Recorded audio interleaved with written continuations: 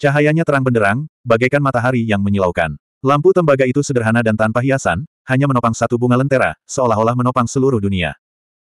Dari bunga lentera kecil yang dapat dimusnahkan dengan bernapas kapan saja, hingga cahaya cemerlang yang menerangi seluruh kaki lampu. Sarjana setengah baya itu berdiri di samping, tercengang. Lampu tembaga tanpa sumbu, dan lentera yang hangat tak tertandingi yang seakan membawa semua cahaya dan harapan, keduanya menyatu menjadi satu. Itu jelas hanya api, tetapi tampaknya memadatkan semua kemegahan dalam satu tubuh, membuat orang tidak dapat berpaling. Lampu hati yang terbakar. Lampu kuno ini tak lain adalah lampu hati terbakar yang diperoleh Zhang Fan di dunia bawah tanah para kultivator. Lampu hati terbakar awalnya merupakan harta karun spiritual kelas atas, tetapi tanpa sumbu, benda itu tidak memiliki kekuatan ofensif. Benda itu tidak pernah dihargai oleh Zhang Fan, dan hanya digunakan sebagai alat untuk mengolah seni agung memakan api. Selain itu, setelah bertahun-tahun, tidak ada berita tentang lampu hati terbakar, dan Zhang Fan hampir melupakannya. Tetapi baru saja, ketika sang cendikiawan meletakkan lampunya dan berbicara tentang makna asli cahaya dan harapan, pikirannya tiba-tiba berkelebat, dan dia akhirnya memperoleh sedikit pencerahan. Nenek Meng menggunakan bubur untuk bertukar mimpi, dan sang sarjana menggunakan sup untuk bertukar cerita. Keduanya mengambil hal-hal luar biasa dari hal-hal biasa. Satu abadi, satu fana, tetapi jalan yang berbeda mengarah ke tujuan yang sama. Sekarang, apa yang ingin dilakukan Zhang Fan adalah sama. Apa yang ingin ia dapatkan adalah cahaya sepuluh ribu rumah. Semenjak awal mula umat manusia, entah itu menggunakan petir untuk menyambar kayu atau api, atau mengebor kayu untuk membuat api, atau menyalakan gunung berapi, apa pun itu, pada akhirnya semua itu akan berubah menjadi api unggun yang menyala siang dan malam, mengusir kegelapan, mengusir binatang buas, mendatangkan kehangatan, dan membuat manusia dapat tidur dengan damai sambil berharap akan hari esok. Cahaya sepuluh ribu rumah merupakan kelanjutan dari ini. Ini adalah makanan yang tertanam dalam naluri semua makhluk hidup. Dalam api ini, ia membawa harapan dan cahaya yang tak terbatas. Dipisahkan oleh gunung, ada perbedaan suara. Dipisahkan oleh sungai, ada perbedaan adat istiadat. Walaupun kita tidur bersama, tetap saja ada mimpi yang berbeda di ranjang yang sama. Saya ingin menjelajahi dunia dan mengumpulkan lampu dari sepuluh ribu rumah, menyatukan harapan dan api cahaya untuk mengembun menjadi sumbu. Ketika sumbu itu selesai, lentera hati tidak akan lagi disebut lentera hati, tetapi akan disebut sepuluh ribu cahaya. Pada saat itu, jiwa baruku juga akan lengkap. Mengulurkan tangannya untuk membelai lampu hati di tangannya, Zhang Fan seperti memiliki orang lain di dalam hatinya yang terus-menerus mengulang. Pertama, bergumam pada dirinya sendiri, lalu memekakkan telinga, dan akhirnya berubah menjadi guntur yang mengguncang darah, ki, dan energi spiritual di tubuhnya. Ia menarik napas dalam-dalam dan menahan keinginan serta dorongan untuk menjelajahi dunia dan mengumpulkan lampu dari sepuluh ribu keluarga. Ia menoleh untuk melihat cendikiawan yang tidak jauh darinya. Sarjana setengah baya itu mengulurkan tangannya, seolah ingin menyentuh lampu hati yang terbakar. Ia ingin melihat apakah lampu ini, yang dapat menyala terus tanpa memerlukan sumbu, nyata atau ilusi. Ia berjuang untuk waktu yang lama, tetapi pada akhirnya, ia tidak berani. Wajahnya dipenuhi rasa kagum dan gembira. Bagaimana mungkin dia tidak tahu bahwa pemuda yang tampak biasa ini adalah guru abadi yang selama ini dicarinya. Cendikiawan, izinkan aku bercerita kepadamu. Melihat kembali ke lampu, Zhang Fan berkata sambil tersenyum. Setelah sekian lama, langit sudah terang, tetapi sang cendikiawan masih menulis di panggung lentera. Ia tidak tahu bahwa malam itu dingin dan embunnya tebal. Ia tidak mendengar suara lonceng unta. Saat itu fajar, tetapi ia tidak melihat apa pun. Bahkan ketika banyak orang berjalan di depannya, mereka sama sekali tidak dapat mengalihkan perhatiannya. Kisah seorang abadi sejati, cukup untuk memenuhi keinginanku. Setelah beberapa saat, sarjana itu melempar kuasnya ke tanah dan tertawa tiga kali. Kepuasan dan kelegaan seperti itu adalah sesuatu yang belum pernah didengarnya sebelumnya. Yang tidak diketahuinya adalah bahwa Zhang Fan tidak hanya meninggalkan cerita tentang keabadian. Ada juga aliran energi jernih di tubuhnya, yang dapat melindungi energi vitalnya dan mencegah kejahatan eksternal menyerang tubuhnya. Ini adalah cara Zhang Fan untuk membalas budinya. Saat sarjana itu dengan hati-hati menyusun buku itu, Zhang Fan sudah berada ribuan mil jauhnya, mengetuk pintu satu demi satu. Di tengah dinginnya musim dingin, ribuan mil membeku. Danau di masa lalu, di bawah udara dingin yang menusuk tulang, membentuk lapisan es tebal. Lapisan itu tertutup oleh embun beku dan salju, cukup untuk kuda berlari. Malam sudah larut. Angin dingin menusuk. Di tengah angin dingin yang menderu dan langit yang tertutup salju, ada cahaya redup namun tetap terang. Bila diperhatikan lebih teliti, tampaklah seorang pemuda tengah mengayunkan pahatnya, sambil mati-matian menggali es, seperti ingin menggali lubang di es itu. Meski angin dingin menggigit, pemuda itu berkeringat deras, membasahi bajunya. Lengannya gemetar, dan dia tidak berhenti. Di sampingnya, ada lentera es yang bersinar redup. Itu adalah lampu abadi di malam yang gelap. Menggunakan seember es, memahat lubang, dan menaruh lampu di dalamnya, jadilah lentera es. Di dunia es dan salju ini, itu adalah alat terbaik untuk penerangan. Setelah sekian lama, ketika bulan berada di tengah langit, tubuh pemuda itu tiba-tiba lemas, dan ia tergeletak di atas es. Pahatnya tergelincir ke samping, dan dalam sekejap, pahat itu tertutup oleh es dan salju. Pemuda itu jelas kelelahan. Ia menggeliat dan berbaring di atas es yang telah digalinya selama setengah hari, seolah-olah ia ingin menggunakan suhu tubuhnya untuk mencairkan es tersebut. Papa-papa. Tepat saat kesadaran pemuda itu perlahan memudar, sebuah suara aneh memasuki telinganya. Dia memaksa matanya untuk terbuka dan melihat. Itu adalah sepasang kaki telanjang, yang menginjak es dan salju, berhenti di depannya. Cuacanya dingin sekali, kenapa kamu bertelanjang kaki? Kesadaran pemuda itu hampir kabur, tetapi dia tidak menyadari bahwa kaki di depannya tidak kotor, tidak ada radang dingin, dan bahkan tidak ada sedikit pun warna biru dingin. Seolah-olah dia tidak berjalan di atas es dan salju, tetapi berjalan di atas aroma rumput di musim semi. Anak muda, mengapa kamu melakukan ini? Suara lembut memasuki telinganya. Pemuda itu mengerahkan seluruh tenaganya untuk menopang tubuhnya, lalu mendongak. Tamu itu berpakaian hijau dengan rambut terurai. Dalam cuaca seperti ini, di tengah salju tebal yang dapat mengubur seseorang dalam sekejap, orang ini bersih dan segar, tanpa sehelai pun kepingan salju di tubuhnya. Ikan, ibuku ingin makan ikan, dia tidak bisa melakukannya. Entah mengapa, suara itu seperti memiliki kekuatan magis. Pemuda keras kepala ini tidak ragu untuk mengatakan apa yang ada di pikirannya. Mengemis ikan mas di atas es. Ada desahan, sangat lemah, hampir tak terdengar. Tepat saat pemuda itu hendak pingsan, Tamu berpakaian hijau itu membalikkan tangannya dan sebuah lampu tembaga muncul di tangannya. Dengan suara lembut, dia berkata, Anak muda, bolehkah aku meminjam lampu? Meminjam cahaya. Pemuda itu menoleh dan melihat bahwa lampu es itu masih memancarkan cahaya yang stabil, berusaha sekuat tenaga untuk mengusir kegelapan. Itulah satu-satunya harapan dan kehangatan di tengah kegelapan malam dan dinginnya es. Oke. Sambil mengumpulkan tenaganya, ia menjawab. Pemuda itu merasa seolah-olah seluruh tenaga dalam tubuhnya telah lenyap dengan jawaban ini. Seolah-olah ia akan tenggelam, tenggelam ke dasar es. Tiba-tiba, seluruh kekuatan di tubuhnya, bagaikan air pasang, membanjiri tubuhnya kembali. Cahaya hangat yang bagaikan matahari itu tidak pelit. Peng, pemuda itu tiba-tiba melompat dari tanah. Terkejut, ia mengusap-usap tubuhnya ke atas dan ke bawah. Tiba-tiba, seberkas cahaya berkelebat di benaknya. Ia mendongak ke arah tamu berpakaian hijau itu dan melihat bahwa lampu di tangannya telah menelan sedikit cahaya itu. Cahaya, kehangatan, harapan. Cahaya itu tampaknya mampu mengusir semua kegelapan. Pemuda itu merasa seolah-olah tubuhnya dipenuhi dengan kekuatan yang tak terbatas. Tanpa sadar ia melihat ke sekeliling tanah. Anak muda, apa yang sedang kamu cari? Saya sedang mencari pahat saya. Pemuda itu menjawab dengan acuh tak acuh. Tak lama kemudian, wajahnya menampakkan ekspresi kecewa. Es dan salju di bawah kakinya setinggi betisnya. Jangankan pahat, bahkan orang yang masih hidup pun pasti sudah lama terkubur. Mustahil untuk menemukannya. Kenapa kamu butuh pahat? Bukankah lapisan es itu sudah mencair karena suhu tubuhmu? Tamu berpakaian hijau itu tersenyum dan menunjuk ke bawah. Ah! Pemuda itu mula-mula tidak percaya, tetapi ketika ia melihat ke arah jarinya, ia melihat bahwa lapisan es tempat ia berbaring beberapa saat yang lalu, yang tak tergoyahkan seperti batu biru, telah mencair, menampakkan air danau yang dingin, beriak cahaya, memantulkan cahaya. Celepuk. Seekor ikan mas melompat keluar dan menghantam es. Ia panik dan ingin berjuang kembali ke dalam air, tetapi ia dipegang erat oleh dua tangan. Bagus sekali. Ibu akan punya ikan untuk dimakan. Pemuda itu memegang ikan mas dan bersorak. Ia mengangkat kepalanya dan melihat lagi. Di depannya ada hamparan es dan salju yang luas. Tidak ada bayangan manusia sedikit pun. Pemuda itu pulang ke rumah dan memasak ikan segar untuk dimakan ibunya. Penyakit ibunya pun sembuh. Kemudian dia tahu bahwa dia telah bertemu dengan seorang yang abadi. Keluarganya membuat peringkat umur panjang dan memujanya siang dan malam. Asap mengepul dari cerobong asap, bergoyang mengikuti angin. Hanya ada beberapa ratus rumah tangga di desa kecil ini, tetapi saat ini, desa itu ramai dengan orang-orang. Di desa itu, hanya ada satu rumah yang tidak berasap. Bukan karena tidak ada orang di sana, juga bukan karena pemiliknya sedang keluar rumah. Melainkan, pemiliknya terlalu lemah untuk bangun. Berderak. Terdengar suara renyah dan bau harum. Lampu minyak sederhana dan kasar meledak dengan cahaya. Itu adalah seorang wanita tua yang sudah sangat tua sehingga dia hampir tidak bisa bergerak. Dia berbaring di tempat tidur dan menjauhkan tangannya yang sudah tua dan layu dari cahaya. Ada ginggo yang meledak di tangannya. Suara renyah sebelumnya adalah suara ginggo yang dipanggang oleh api. Wanita tua itu menggigil dan memasukkan ginggo ke dalam mulutnya. Dia mengunyahnya dengan kesabaran yang tak tertandingi, seolah-olah dia sedang mencicipi sesuatu yang lesat. Meskipun perutnya bergemuruh seperti guntur, dia tetap tidak sanggup menelannya. Setelah sekian lama, dia mendesah dan mengulurkan tangannya yang gemetar. Dia ingin memadamkan lampu minyak agar tidak terbuang sia-sia. Tepat saat itu, terdengar ketukan di pintu. Siapa itu? Masuklah. Wanita tua itu berkata dengan lemah.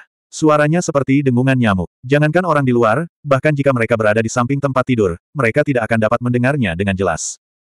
Pintu terbuka dan angin dingin berhembus masuk. Wanita tua itu menggigil dan memeluk selimutnya lebih erat. Dia membuka mata tuanya dan melihat bahwa itu adalah seorang tamu berpakaian biru. Nyonya tua, sudah berapa hari sejak terakhir kali Anda makan? Pengunjung berpakaian biru itu masuk dan melihat sekeliling. Setelah dia masuk, angin tiba-tiba berhenti dan menjadi hangat, seolah-olah angin tidak berani menyerang. Tiga, tiga hari. Meskipun wanita tua itu belum banyak melihat dunia, dia tetap merasa ada yang tidak beres. Tanpa ragu, dia memberikan jawabannya. Apakah Anda memiliki anak? Ya, tiga putra dan dua putri. Apakah mereka ada di dekat sini? Mereka semua ada di desa. Pengunjung berbaju biru itu tiba-tiba terdiam. Wanita tua itu tiba-tiba merasa sedikit kedinginan dan tidak merasakan angin. Dia sangat terkejut. Nyonya tua, apakah Anda ingin menghukum anak yang tidak berbakti ini? Suara pengunjung berbaju biru itu hangat dan lembut, tanpa sedikit pun niat membunuh. Seolah-olah ini hanyalah hukuman kecil. Tidak, jangan. Sulit bagi anak itu. Perempuan tua itu menggeleng, perempuan tua ini hanya mau makan satu hari dalam dua atau tiga hari dan punya tenaga untuk pergi menjenguk cucuku. Dengan wajah penuh bunga krisan yang mekar, perempuan tua itu tersenyum puas. Tamu, lihatlah, buah perak ini dikirim oleh cucuku. Anak itu enggan memakannya dan khawatir pada nenek. Setelah hening sejenak, pengunjung berbaju biru itu berkata perlahan, Nyonya tua, bolehkah saya meminjam sedikit cahaya? Tamu, silakan ambil sendiri. Lampunya agak redup, apa yang bisa dipinjam? Saat perempuan tua itu berbicara, dia merasa aneh. Setelah tamu berpakaian biru itu masuk, dia masih punya tenaga untuk berbicara begitu lama tanpa merasa lelah. Dia bertanya-tanya apakah dia harus pergi menemui cucunya besok. Seketika itu juga, perempuan tua yang selama hidupnya tidak pernah meninggalkan desa itu tiba-tiba membelalakkan matanya. Ia menatap tak percaya pada pemandangan di depannya. Secercah cahaya melayang keluar dari lampu minyak lamanya dan masuk ke lampu tembaga sederhana yang tiba-tiba muncul. Dalam sepersekian detik, lampu itu bersinar terang. Dalam cahaya ini, ia merasa seolah-olah sedang menggendong tiga atau empat anak di punggungnya saat ia masih muda, dan kekuatan untuk bekerja di ladang pun kembali. Kekal. Wanita tua itu baru saja berteriak dan ingin berlutut dari tempat tidur. Namun, pandangannya kabur dan dia kehilangan pandangan dari tamu berpakaian biru itu. Yang terdengar hanyalah suara santai yang datang dari luar rumah. Terima kasih, Nona Tua, atas cahayanya. Aku memberimu pohon kurma. Pohon itu berbuah sepanjang tahun dan tidak ada habisnya. Hanya Nona Tua yang boleh mengambilnya sendiri. Selama orang itu hidup, pohon itu akan hidup. Jika orang itu meninggal, pohon itu akan layu. Suara itu disertai dengan cahaya hijau yang melesat ke langit, menerangi separuh langit. Suara pengunjung berbaju biru itu berbeda dari sebelumnya. Suaranya menyebar ke seluruh desa dan semua orang mendengarnya. Wanita tua itu bergegas keluar rumah. Ia melihat di ladang sayur tandus di depan pintunya, ada pohon kurma yang cukup besar untuk ditumbuhi tiga hingga lima orang. Pohon itu dipenuhi buah kurma berwarna merah terang. Setiap buahnya sangat montok. Berdiri di bawah pohon itu, orang bisa mencium wanginya. Pengunjung berpakaian biru itu telah lama menghilang tanpa jejak. Di sebuah desa kecil, bisikan kecil di tempat tidur bisa didengar oleh semua orang dalam sehari, apalagi masalah sebesar itu. Dalam sekejap, hampir seluruh penduduk desa berkumpul di bawah pohon kurma. Mereka yang tidak percaya pada hal gaib mengulurkan tangan untuk memetik kurma tersebut, tetapi terbuang jauh. Otot dan tulang mereka terluka dan mereka tidak akan bisa bangun dari tempat tidur setidaknya selama sebulan. Akibatnya, penduduk desa merasa kagum. Mereka tahu bahwa mereka telah bertemu dengan seorang yang abadi dan segera membungkuk kepada pohon kurma itu. Wanita tua itu berusia lebih dari 100 tahun dan meninggal dunia. Sebelum meninggal, anak-anak dan cucu-cucunya memeluk lututnya. Wajahnya masih merah. Pegunungan bersalju, padang rumput, gurun, rawa, laut, pegunungan dalam. Ada tempat-tempat yang jarang terlihat orang. Ada tempat-tempat yang dunia manusianya berisik. Ada tempat-tempat yang sulit bertahan hidup. Ada orang-orang yang bisa hidup hanya dengan melihat buah-buahan. Ada wanita yang tergila-gila yang menaruh lentera di sungai pada malam hari. Ada sarjana dari Hanging Beam Tavern. Ada sepasang anak yang polos. Dalam kehidupan satu demi satu orang, bayangan pengunjung berpakaian biru muncul. Kalimat itu, tolong pinjamkan aku sedikit cahaya. Bagaikan cahaya itu sendiri. Itu melambangkan harapan dan cahaya. Ketika legenda itu mulai menyebar, semua orang tiba-tiba menemukan bahwa kisah tentang pria berbaju hijau itu telah tersebar ke seluruh dunia. Setiap kisah mewakili terwujudnya harapan dan hasil cemerlang. Pencipta semua ini, Zhang Fan yang berpakaian hijau dan bertelanjang kaki, yang menjelajahi dunia dan mengumpulkan lampu dari puluhan ribu rumah tangga, saat ini sedang bergerak maju di padang gurun yang luas. Tiba-tiba, di hutan belantara, angin kencang dan suara gemuruh bergema di seluruh dunia. Sudah waktunya. Dengan perasaan di hatinya, senyum muncul di wajah Sang Fan. Dia berhenti dan melihat ke belakang. 832. Angin kencang bertiup di hutan belantara, guntur muncul di langit cerah, dan suaranya bergema di seluruh dunia. Sudah waktunya. Zhang Fan merasakan sesuatu di hatinya, dan sebuah senyuman muncul di wajahnya. Dia tiba-tiba berhenti dan melihat ke belakang. Tatapannya tampaknya mampu menembus penghalang waktu dan ruang, melihat semua yang telah dialaminya dalam dua tahun terakhir. Dataran utara, pegunungan es, lautan salju, kota-kota, pegunungan dalam dan rawa-rawa, ia meninggalkan jejak kakinya di setiap tempat. Setiap tempat, di dalam hatinya, berubah menjadi pemandangan ribuan cahaya. Semua makhluk hidup bangkit dan jatuh, ribuan cahaya. Dalam keadaan tak sadarkan diri, melihat ke belakang, dunia dipenuhi cahaya terang, harapan dan cahaya, yang tersebar di seluruh dunia. Seolah merasakan denyut dan nostalgia di hatinya, sebuah lampu kuno muncul.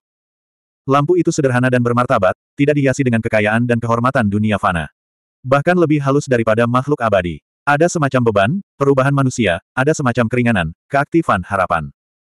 Ketika tidak ada cahaya, ketika tidak ada harapan, yang ada hanya kekerasan dalam api, hanya kehancuran. Mungkin, inilah terakhir kalinya ia menyebutnya dengan nama itu. Pada badan lampu, warna-warna pekat muncul. Seolah-olah miliaran roh api melompat dan bersorak. Mereka melompat kegirangan karena api yang berangsur-angsur mengembun di badan lampu. Awalnya, di dalam badan lampu, nyala api yang berkobar di udara bagaikan jutaan pita sutra yang dipilin rapat, saling jalin, bercampur menjadi satu. Sumbu. Ada lampu, ada sumbu, ada api, ada roh. Ada sumbu, ada api, ada roh. Dalam sekejap itu, bagai semua makhluk hidup hidup kembali, lampu ribuan rumah menyala, dan harapan rakyat pun menyatu, berubah menjadi sumbu, yang menyala tanpa suara. Tenang, sangat tenang. Berbeda dengan api surgawi, api duniawi, api gunung, dan api bencana, lampu-lampu di ribuan rumah memiliki rasa tenang yang tak terlukiskan. Itu adalah penantian, itu adalah harapan, itu adalah mimpi yang damai di bawah cahaya. Sejak saat itu, tak ada lagi lampu hati di dunia, yang ada hanya lampu ribuan rumah. Ledakan. Saat lampu di puluhan ribu rumah menyala, hati, jiwa, telinga, dan pikiran Zhang Fan berdengung, dan setiap bagian tubuhnya bersorak pada saat yang sama. Kekuatan dahsyat seakan bangkit dari hatinya. Kekuatan itu bagaikan roh di dalam tubuhnya, bagaikan aturan langit dan bumi. Kekuatan itu mengedarkan energi spiritual di dalam tubuh Zhang Fan dan mengumpulkannya di dantiannya. Inti emasnya, yang telah mandek di puncak alam formasi inti selama puluhan tahun, tiba-tiba mulai berputar. Kekuatan itu seakan menelan energi spiritual langit dan bumi tanpa henti, menyapu badai yang mengejutkan. Angin kencang bertiup di padang gurun, menyapu ke segala arah. Bahkan batu-batu yang berukuran seperti bukit kecil pun tertiup angin, seakan-akan akan tersapu ke langit. Fiuh. Menghembuskan napas bagaikan deru angin, menghirupnya bagaikan gelombang yang dahsyat. Penantian selama puluhan tahun, impian dari lebih dari seratus tahun yang lalu, akhirnya akan terwujud pada saat ini. Pada saat itu, hati Zhang Fan menjadi tenang dan hampa. Patung Dharma gagak emas muncul di belakangnya. Gagak itu berkokok, dan suara ledakan terdengar. Api yang merusak dan ganas itu tampaknya telah tenang. Tidak, tidak tenang, tetapi terkendali. Kehancuran dan harapan, kematian dan kehidupan, mereka bertabrakan dan menyatu. Setiap nyala api tampak hidup kembali, sangat lincah. Apakah ini spiritualitas api?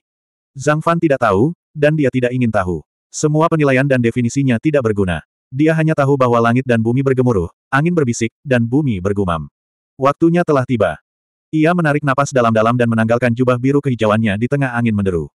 Ia membersihkan debu di tengah badai energi spiritual. Ia mengenakan mahkotanya di bawah pengaruh kekuatan surga. Ia mengenakan jubah kerajaannya saat bumi bergetar. Berdandan.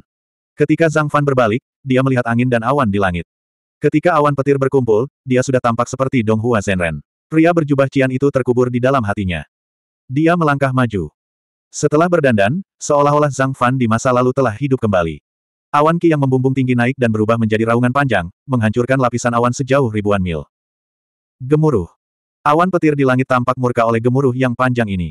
Kilatan petir ungu menyambar dan menghantam tanah. Guntur dan api membakar, membakar bumi. Menghadapi pemandangan ini, ekspresi Zhang Fan sama sekali tidak berubah. Dia hanya tersenyum. Langit menjadi semakin suram, seperti kemarahan langit dan bumi. Ketika angin dingin berangsur-angsur naik, seperti teriakan hantu dan dewa, telapak tangan terentang secara horizontal. Menghadap telapak tangan, energi spiritual terkumpul dan berubah menjadi pusaran kecil energi spiritual. Energi spiritual berputar di telapak tangan, menyapu, dan perlahan-lahan menjadi lebih kuat. Ledakan. Tiba-tiba, Zhang Fan mengepalkan telapak tangannya, dan pusaran energi spiritual hancur. Genggaman ini juga seakan-akan menggenggam seluruh dunia dalam genggamannya dan menghancurkannya berkeping-keping. Dunia yang luas itu terhenti sejenak. Pada saat yang singkat itu, suara guntur dan angin berhenti. Hanya suara acuh tak acuh dan tiga kata sederhana yang bergema di tengah-tengah awan guntur. Jiwa yang baru lahir, telah terbentuk. Ledakan. Sebuah ledakan keras, pada saat yang sama, pecah di tubuh Zhang Fan, di antara awan petir di langit, dan di tengah angin dingin. Memecah inti emas untuk membentuk jiwa yang baru lahir. Memecah inti emas untuk membentuk jiwa yang baru lahir. Ini bukan hanya peningkatan alam, tetapi juga perubahan hakikat kehidupan. Di alam ini, esensi, energi, jiwa, dan semua kultivasi seumur hidup telah dilebur menjadi satu tungku. Ketika inti emas pecah, jiwa yang baru lahir terbentuk. Seperti kata pepatah, misteri dari misteri adalah pintu dari semua misteri. Misteri tidak dapat dijelaskan dengan kata-kata. Jika tidak, tidak akan ada ujian berupa sambaran petir dan para hantu serta dewa akan menangis karenanya. Semua ini misterius dan sangat sulit. Banyak orang telah berkultivasi sepanjang hidup mereka, tetapi mereka bahkan tidak berani berpikir bahwa akan ada hari seperti itu. Bahkan Zhang Fan tidak yakin bahwa ia akan mampu mencapai level seperti itu. Namun, pada saat ini, semuanya terjadi secara alami. Kata-kata, Naschen Sol, Komplete, Golden Elixir telah hancur, Naschen Sol telah lahir, dan Dao telah muncul. Akumulasi yang mendalam, akumulasi selama puluhan tahun, pemahaman yang sempurna, segalanya telah mengarah pada pemandangan di hadapannya. Seolah-olah marah dengan sikap santai Xiao Chen, awan petir itu menjadi semakin ganas. Seperti banjir setelah bendungan jebol, awan petir itu melonjak lebih dahsyat. Awan petir yang memenuhi langit mengembun menjadi warna ungu hitam pekat. Gemuruh keras itu adalah petir ungu yang melampiaskan amarahnya. Ledakan, dentuman, dentuman. Kesengsaraan petir itu untuk keseimbangan langit dan bumi. Itu adalah ujian. Jika seseorang berhasil, mereka akan terbebas dari belenggu tubuh manusia dan menjadi bentuk kehidupan yang berbeda, yang diakui oleh langit dan bumi. Jika seseorang gagal, mereka akan kembali ke bentuk aslinya. Jika seseorang gagal, mereka akan mati di tempat. Ini bukan lelucon. Tu, wah, wah. Suara hantu yang menangis adalah suara jiwa yang baru lahir. Itu adalah suara setan di dalam hati yang menghancurkan fondasi seseorang. Zhang Fan telah menyaksikan baptisan hukuman petir dan gangguan teriakan hantu lebih dari sekali. Berbeda dengan Naschen Soul Perfected Honest lainnya yang baru saja mengintip ke alam ini, dia tidak hanya menyaksikan pemandangan ini berkali-kali, dia juga secara pribadi telah membunuh banyak Naschen Soul Perfected Honest. Di balik lengan bajunya, bahkan ada beberapa Naschen Soul yang tidak sadarkan diri yang jiwanya telah dilenyapkan, yang ada dalam bentuk kristalisasi energi spiritual murni. Karena itu dia tidak takut dan menghadapinya dengan tenang. Ayo. Sambil menarik napas dalam-dalam, Zhang Fan tidak dengan gugup membela diri dan menunggu dengan pasif. Sebaliknya, dia mengulurkan tangannya dan menunjuk ke langit. Dong, dong, dong. Tiga suara lonceng Dong Huang menekan tanah, air, angin, dan api. Guntur yang dahsyat itu berhenti sejenak, lalu menjadi semakin ganas. Sasaran sebenarnya Zhang Fan bukanlah mereka. Di bawah suara lonceng Dong Huang, Gelombang suara dari lonceng Dong Huang yang melayang di udara menutupi gelombang suara yang tampaknya memiliki substansi. Gelombang suara tersebut ditutupi, dihancurkan, diserap, dan didorong. Menggunakan bunyi untuk mengendalikan suara, menggunakan lonceng Dong Huang untuk mengendalikan teriakan hantu dan dewa, menggunakannya untuk mengaduk energi spiritual di langit dan mengubahnya menjadi badai yang menerjang langsung ke awan petir. Ledakan. Akibat dampak badai, awan petir di langit tidak mengumpulkan kekuatan mereka hingga mencapai kondisi terkuat sebelum dipicu. Seperti hujan deras, awan petir itu jatuh berjatuhan. Guntur dahsyat turun dari langit, mengubah area dalam radius beberapa mil menjadi sangkar.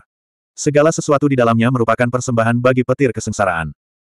Sebagai pelakunya, Zhang Fan, yang menyebabkan semuanya terjadi, memiliki lebih dari 90% kekuatan petir kesengsaraan. Ha! Sambil menghembuskan napas, dia mengulurkan tangannya dan menunjuk lagi. Lonceng Dong Huang berputar dan melawan arus. Tanpa menghindar, ia bertemu dengan kekuatan petir kesusahan yang setebal ember. Ledakan, dentuman, dentuman. Suara gemuruh yang terus-menerus mengguncang bumi. Berdiri di tanah, rasanya seperti menginjak kapas. Di satu sisi, bumi juga terguncang oleh kekuatan petir kesengsaraan. Di sisi lain, di bawah pemboman guntur yang mengerikan dan tampaknya tak berujung, tidak ada apa-apa selain guntur di telinga. Di bawah guncangan, mereka bahkan tidak bisa menjaga keseimbangan mereka. Dalam gambar guntur apokaliptik ini, Zhang Fan perlahan duduk bersila. Jika ada ahli yang hadir, mereka akan melihat bahwa di langit, hampir semua petir kesengsaraan diambil oleh lonceng Dong Huang. Itu tidak bertahan, tidak melawan, tetapi menyerap. Bukan hanya lonceng Dong Huang saja, tetapi juga tubuh Zhang Fan yang tengah duduk bersila di tanah pun dikerumuni oleh guntur dan kilat. Yang lebih aneh lagi, guntur dan kilat itu seolah muncul entah dari mana. Beberapa bahkan keluar dari tubuhnya, seolah-olah terlahir darinya. Zhang Fan adalah seorang kultivator sempurna dari sekte karakteristik Dharma, bukan gadis-gadis gila di sekolah Sensiao. Tentu saja, dia tidak memiliki kemampuan untuk menciptakan guntur dan kilat dari udara tipis. Itu hanya melalui beberapa koneksi misterius yang ditransmisikan dari harta karun Dharma Natal, Lonceng Dong Huang. Zhang Fan tampaknya tidak menyadari adanya guntur dan kilat. Gerakan tangannya berubah, dan satu demi satu, segel tangan dan aliran energi spiritual tercetak di Lonceng Dong Huang. Teknik penyempurnaan senjata Gerakan-gerakan, segel-segel tangan, dan jurus-jurus penyempurnaan senjata yang sangat terampil ini merupakan teknik yang paling dikuasai Sang Fan di antara para heterodoks Dao. Dia sebenarnya memanfaatkan petir kesengsaraan surgawi untuk memurnikan harta dharma natalnya sendiri. Berani dan arogan sampai ekstrim. Kultivator mana pun, baik kultivator jiwa baru lahir sempurna maupun penguasa dao pembentukan jiwa, akan tercengang dan mengumpat saat melihat hal itu. Itu adalah ejekan diam-diam yang bagaikan tamparan keras di wajah mereka. Dulu, ketika mereka menghancurkan inti mereka untuk membentuk Nas Chen Sol, mereka gemetar ketakutan dan membutuhkan bantuan dari teman baik dan guru mereka. Formasi susunan sekte mereka memblokir sebagian petir Heavenly Tribulation dan mereka menanggungnya dengan hati-hati tanpa sedikit pun kecerobohan, takut bahwa kultivasi mereka selama ratusan tahun akan hancur. Di mata semua orang, apa yang dilakukan Zhang Fan saat ini adalah tindakan gila dan pemberontakan. Metode seperti itu bukanlah sesuatu yang bisa dilakukan oleh orang biasa. Tanpa teknik pemurnian senjata Grandmaster dan harta Dharma yang tidak dimurnikan secara pribadi, melakukan hal itu hanya akan menyebabkan kematian. Yang lebih penting, Zhang Fan masih memiliki kartu truf yang dapat mencegah terjadinya kecelakaan. Itu sudah cukup untuk memastikan bahwa dia pasti akan menjadi seorang kultivator Nas Chen Sol dan menjadi seorang kultivator Nas Chen Sol sejati. 833. Ledakan. Dong. Suara guntur dari langit kesembilan mengguncang dunia, suara lonceng Dong Huang menekan bumi, air, angin, dan api. Satu hancur dan satu lagi terlindungi. Suara guntur dan lonceng menjadi satu-satunya suara di dunia ini. Menggunakan guntur kesengsaraan surgawi untuk memurnikan harta Dharma Natal, tindakan gila yang seperti bunuh diri ini telah berlangsung selama enam jam. Selama enam jam ini, guntur jatuh dari langit dan menghantam lonceng Dong Huang. Lonceng itu menunjukkan tanda-tanda akan runtuh lagi dan lagi, tetapi lonceng itu dibentuk kembali oleh ribuan segel tangan dan terus dibaptis oleh guntur kesengsaraan surgawi. Dalam proses ini, setelah Zhang Fan menyempurnakan harta dharma natalnya, pemahaman dan pengalamannya selama bertahun-tahun, pengertiannya terhadap matahari agung, burung gagak emas, spiritualitas api, DCB, semuanya diam-diam memelihara dan mengembun, menyatu menjadi lonceng Kaisar Timur. Meskipun material harta karun ini unik dan tekniknya brilian, namun ia disempurnakan saat berada di tahap pembentukan inti. Setelah puluhan tahun, Zhang Fan yakin bahwa ia jauh lebih baik daripada sebelumnya dalam segala aspek. Dalam kasus ini, jika melihat ke belakang, lonceng Dong Huang tampaknya tidak begitu sempurna dan masih banyak ruang untuk perbaikan. Namun, kayu itu telah berubah menjadi perahu dan harta karun itu telah rampung. Apakah tungku itu harus dibuka kembali untuk disempurnakan atau bahkan dibuat lagi, ada banyak kesulitan. Ada pro dan kontra, dan ada juga banyak kengganan. Kesempatan di depannya adalah yang paling langka. Setelah ini, lonceng Dong Huang akan terlahir kembali seperti Zhang Fan, jauh dari yang dulu. Situasi seperti ini yang dirasakan Zhang Fan sebenarnya bukan hanya dialami olehnya. Setiap Master Tao tahap Yuan Ying, ketika menghadapi senjata ajaib sumber kehidupan yang disempurnakan pada tahap awal tahap Jindan, akan merasakan hal yang sama. Semua orang merasakan hal yang sama. Yang dapat mereka lakukan adalah memelihara, memelihara, dan memelihara lagi. Ini adalah metode yang diakui di dunia kultivasi abadi. Semua orang mengira itu adalah kebenaran, tetapi Zhang Fan tidak menganggapnya benar. Jika dia berpikir bahwa tingkat kultivasinya akan berhenti di alam jiwa baru lahir, maka itu akan baik-baik saja. Jika dia berpikir bahwa tingkat kultivasinya akan berhenti di alam pembentukan jiwa, maka itu akan baik-baik saja. Tetapi bagaimana jika dia ingin melangkah lebih jauh, dua langkah lebih jauh? Harta karun ajaib pengikat kehidupan yang diandalkannya seperti tembok besar di masa lalu telah menjadi benda hambar yang sayang untuk dibuang. Langit telah mengizinkannya turun ke dunia ini, dan ia memiliki takdir yang besar di pihaknya. Dalam keadaan seperti itu, Zhang Fan tidak pernah berpikir bahwa ia akan berhenti di tahap mana pun. Jika ada, hanya ada dua kemungkinan. Satu adalah mati sebelum ia dapat memenuhi ambisinya, dan yang lainnya adalah memandang rendah semua makhluk hidup dan mendesah bahwa tidak ada jalan di depan.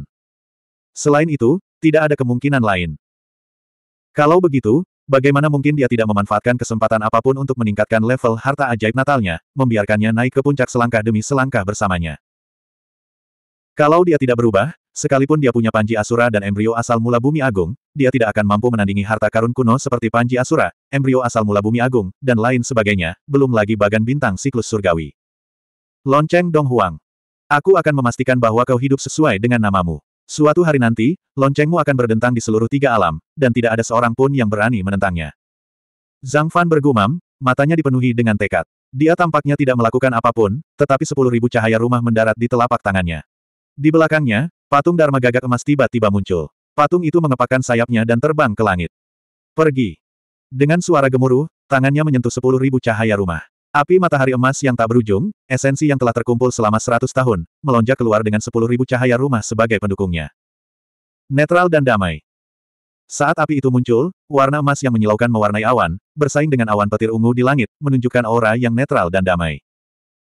Aura yang disebut netral dan damai itu tidak menunjukkan ketajamannya, tetapi ketika disentuh, aura itu akan menjadi marah. Api yang berkobar tidak terlihat di permukaan, tetapi dapat menembus langit dan bumi. Setelah memahami spiritualitas api, Golden Sun Flame tetaplah Golden Sun Flame, tetapi auranya lebih suci, seperti matahari sungguhan. Ia tidak goyah sedikit pun, bergejolak di antara awan badai. Burung gagak emas terbang melintasi sembilan surga guntur dan berputar mengelilingi lonceng Dong Huang, menarik api matahari emas untuk membakar tubuhnya, seolah ingin menggabungkan seluruh pemahaman Zhang Fan ke dalamnya untuk menciptakan harta karun ini. Baptisan oleh petir kesengsaraan, pemurnian oleh api emas, pemahaman, dan kelahiran kembali. Dong! Suara lonceng itu meredam ledakan petir kesengsaraan, menjadi satu-satunya suara di dunia, meredam semua kekacauan. Ki spiritual yang gelisah di langit juga menjadi tenang. Dalam sekejap, seluruh dunia tampak menjadi lebih pendek. Di tengah bunyi lonceng, lonceng Kaisar Timur berputar. Lapisan emas cemerlang dan api ungu yang ganas terlempar dari bunyi lonceng, berubah menjadi api yang mengalir memenuhi langit. Itu seperti cahaya matahari terbenam yang seratus kali lebih pekat. Kemurnian, kehalusan, kemegahan. Pada saat ini, lonceng Dong Huang telah menyingkirkan semua kegelisahan, menjadi harta karun sejati. Ledakan. Setelah menyingkirkan semua petir kesengsaraan yang hancur, lonceng Dong Huang jatuh dari langit, mengabaikan jarak yang jauh seolah-olah tidak ada. Dalam sekejap mata, lonceng itu telah mendarat, hingga akhirnya tertangkap oleh awan keberuntungan. Pada saat ini, cahaya redup Dong Huang Bell tidak mengurangi aura kebanggaannya, dan sedikit lebih lincah. Ia dapat berubah sesuai keinginannya, yang merupakan puncak yang dapat dicapai Zhang Fan pada tahap ini. Fiuh. Setelah menghela napas panjang, Zhang Fan merasa benar-benar rileks, dan punggungnya tegak lurus. Pada saat ini, seperti busur panjang yang tiba-tiba dilepaskan dan dipantulkan kembali, kekuatan dahsyat yang tak terlukiskan dilepaskan dari tubuhnya, dan saat dia rileks dan duduk, kekuatan itu menekan tanah. Dentuman, dentum, dentum. Suara-suara teredam, seperti ledakan yang terjadi di bawah tanah. Dengan tempat Zhang Fan duduk dengan kaki disilangkan sebagai pusatnya, area dalam beberapa mil tiba-tiba runtuh. Tidak ada kengerian gunung runtuh, tidak ada guncangan pasir dan batu beterbangan, hanya kekuatan tak terbatas dan momentum yang tak tertahankan. Daerah dalam radius beberapa mil tampak telah berubah menjadi cekungan. Mengembun. Wajah Zhang Fan menjadi pucat. Dengan kultivasi dan kekuatannya, ini sudah menjadi batasnya. Saat dia berteriak, seolah-olah dia sedang mengatur spirit ki. Sebuah pusaran spirit ki yang sangat besar yang mencakup jarak puluhan mil tiba-tiba muncul dan muncul. Kunpeng menelan, merebut kekayaan langit dan bumi, dan mencapai alam jiwa baru lahir. Pusaran spirit ki yang tiba-tiba terbentuk mewarnai warna-warna megah sejauh puluhan mil. Seperti seekor paus menelan seekor harimau, semuanya ditelan oleh Zhang Fan. Keluar. Sebagai tanggapan, seberkas cahaya yang menyilaukan tiba-tiba melesat keluar dari titik akupuntur Baihui milik Zhang Fan di atas kepalanya. Dengan cahaya keemasan yang menyilaukan, seolah-olah matahari tengah mengusir awan dan bersinar di langit. Jiwa yang baru lahir yang hebat. Jiwa baru Zhang Fan yang telah menghancurkan inti emas dan menyatukan roh api dengan esensi kultivasi abadi selama seratus tahun muncul di hadapannya. Perlahan-lahan, cahaya matahari mengembun di belakang kepalanya. Cahaya keemasan bersinar di sekujur tubuhnya, seolah-olah putra matahari telah turun ke dunia fana. Melihat jiwa baru lahir yang agung yang baru terbentuk, dia melihat bahwa jiwa itu tampak damai seolah-olah sedang tidur nyenyak. Bahkan ada sedikit belas kasihan di wajahnya yang tenang dan indah.